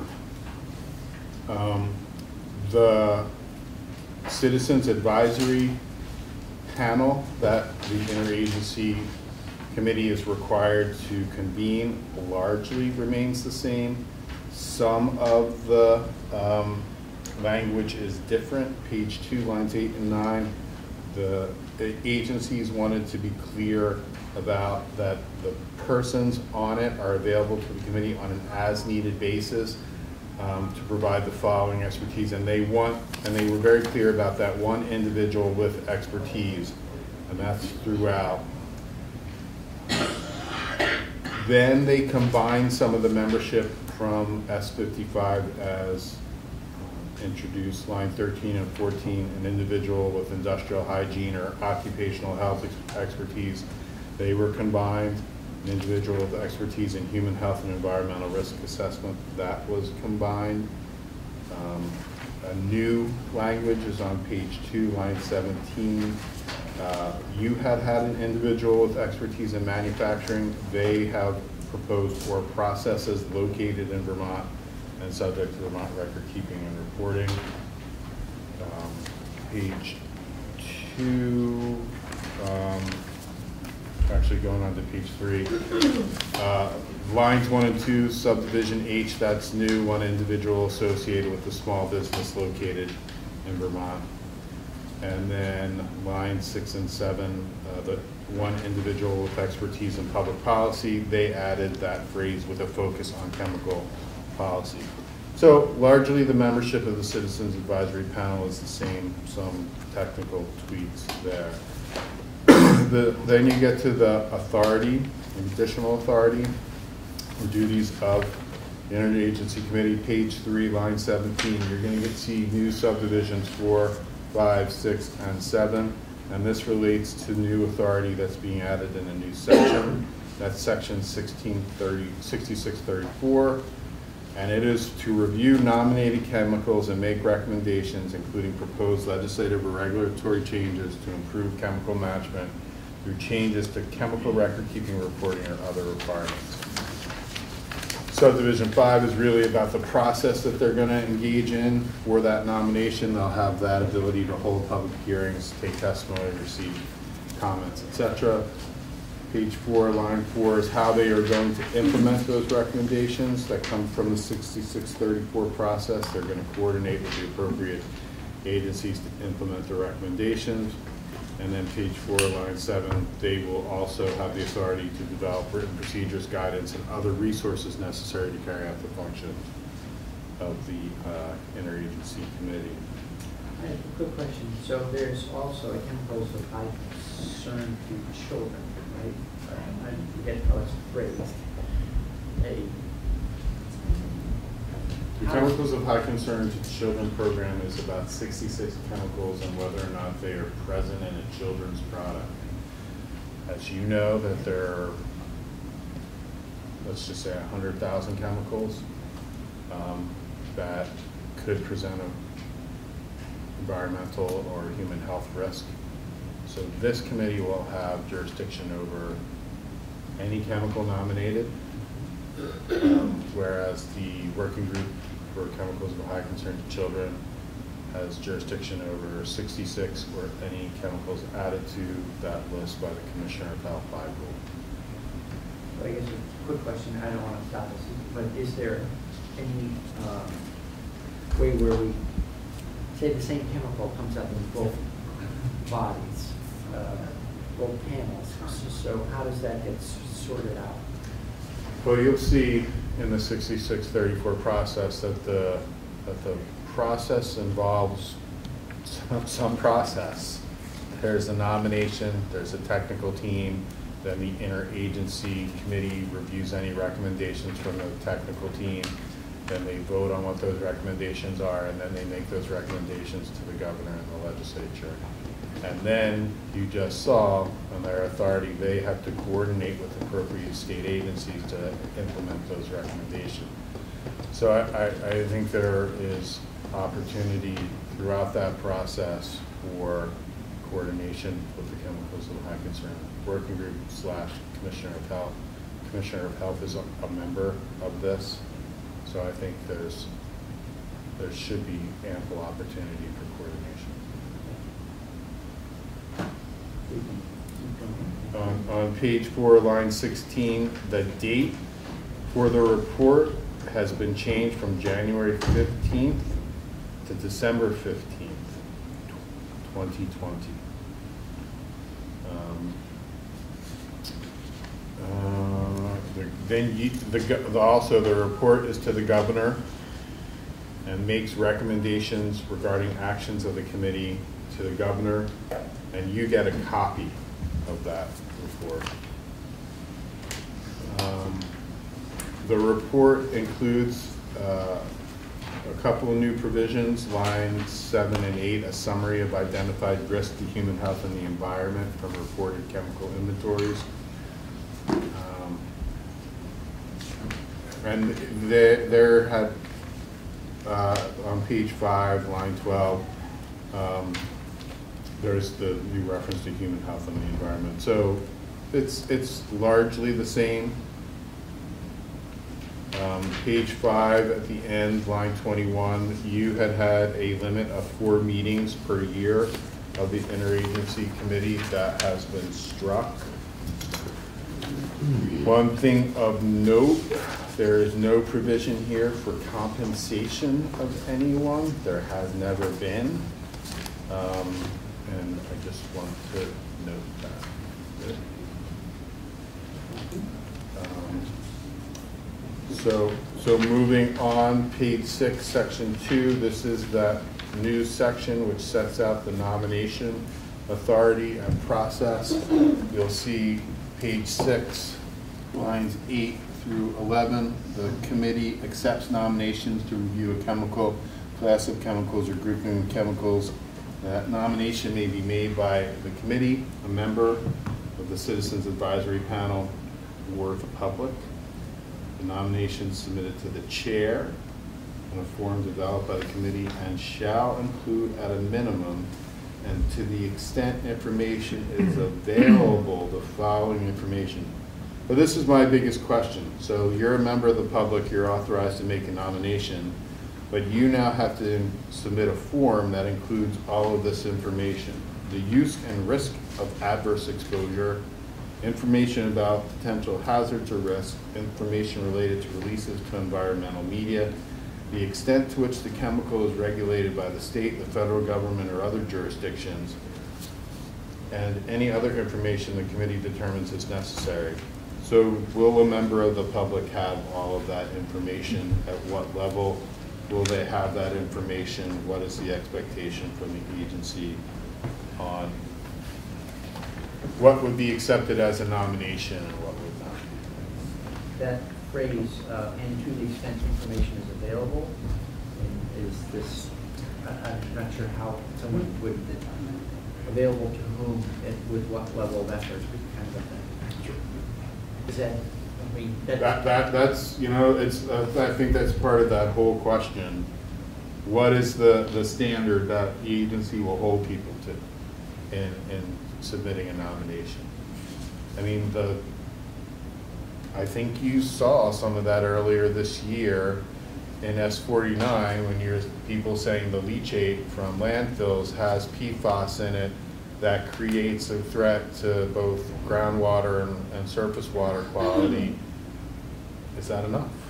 Is that, is that, is that enough for a nomination? I don't, I don't know the answer to that. Um, Page seven, Line four, the committee shall determine whether a nomination warrants further technical review. They may require additional information, and they may prioritize review of nominations, which makes sense. If they get 50 nominations, they're going to have to prioritize what they're going to do. Uh, Meeting scheduled for noon. Yeah, I believe soon as well. I, I do worry that tomorrow we don't have much time on this. I would say it's a priority over weatherization stuff since this is a crossover issue. Is Friday the last day that this can actually, No, it's on the No. Oh, it's calendar, not. so we're, we're fine. Uh, I mean, are we fine But- for As long as your leadership says you can pass That's it what I was, over. yeah. So I don't think it's worth Yeah, but looping to them. Things went long this morning, so we had, uh, uh, well, I'll work with the survey to schedule time, and we'll continue. I don't want to rush something this important. Appreciate everyone's uh, concern to get it right. So I can move fast to the rest of it. So if there's the preliminary determination to do the review, they set up a technical team to, to do a technical review.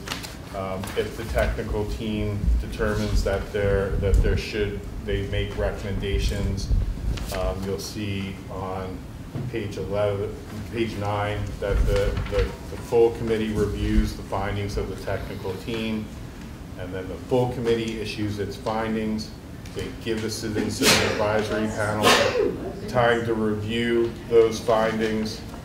And then if they determine that they're gonna make a recommendation on page ten, they approve or deny the recommendation, and, and then they submit that, um, copy of that recommendation in a report to the governor and, and the appropriate committees of the General Assembly. The one thing I want to note, I think it's important, section two A, you can't tell the governor that he can't have his executive order anymore, assuming that he has that authority to set that up in the first place, but I'm not gonna get into that. You just say it is the intent of the General Assembly that the interagency committee established by the governor's executive order shall fulfill the powers and duties of this statutory committee, and that the persons appointed as members of the Citizens Advisory Committee of that governor's interagency committee shall continue as members of the Citizens Advisory Committee established by statute. So you, that's your intent, you can't, you can't tell the governor that the executive order doesn't exist anymore. When there's conflict between statute and executive order, the statute controls, but you just basically conform the statute to the executive order. There's an argument that they can exist uh, at the same time, but you just want, it's expression of intent that they will not. Okay. Well, and the goal was, whatever, an orderly transition Right. from one to the other. It seems like the discussions Well- suggest that it'll be an amicable transition. That raises the question of when do you want this to go into effect? It has currently in passage, on passage. Um, So that transition would theoretically be made um, on passage. So I guess we should think about that a little bit. It almost seems as though there should be a little time post uh, signing the law into effect to get just paperwork and housekeeping done. So, uh, all right, so thank you, everyone. Thanks for staying over little. We'll schedule more time and invite testimony from interested parties, uh, because none of us have gone through the nomination, this new nomination this morning.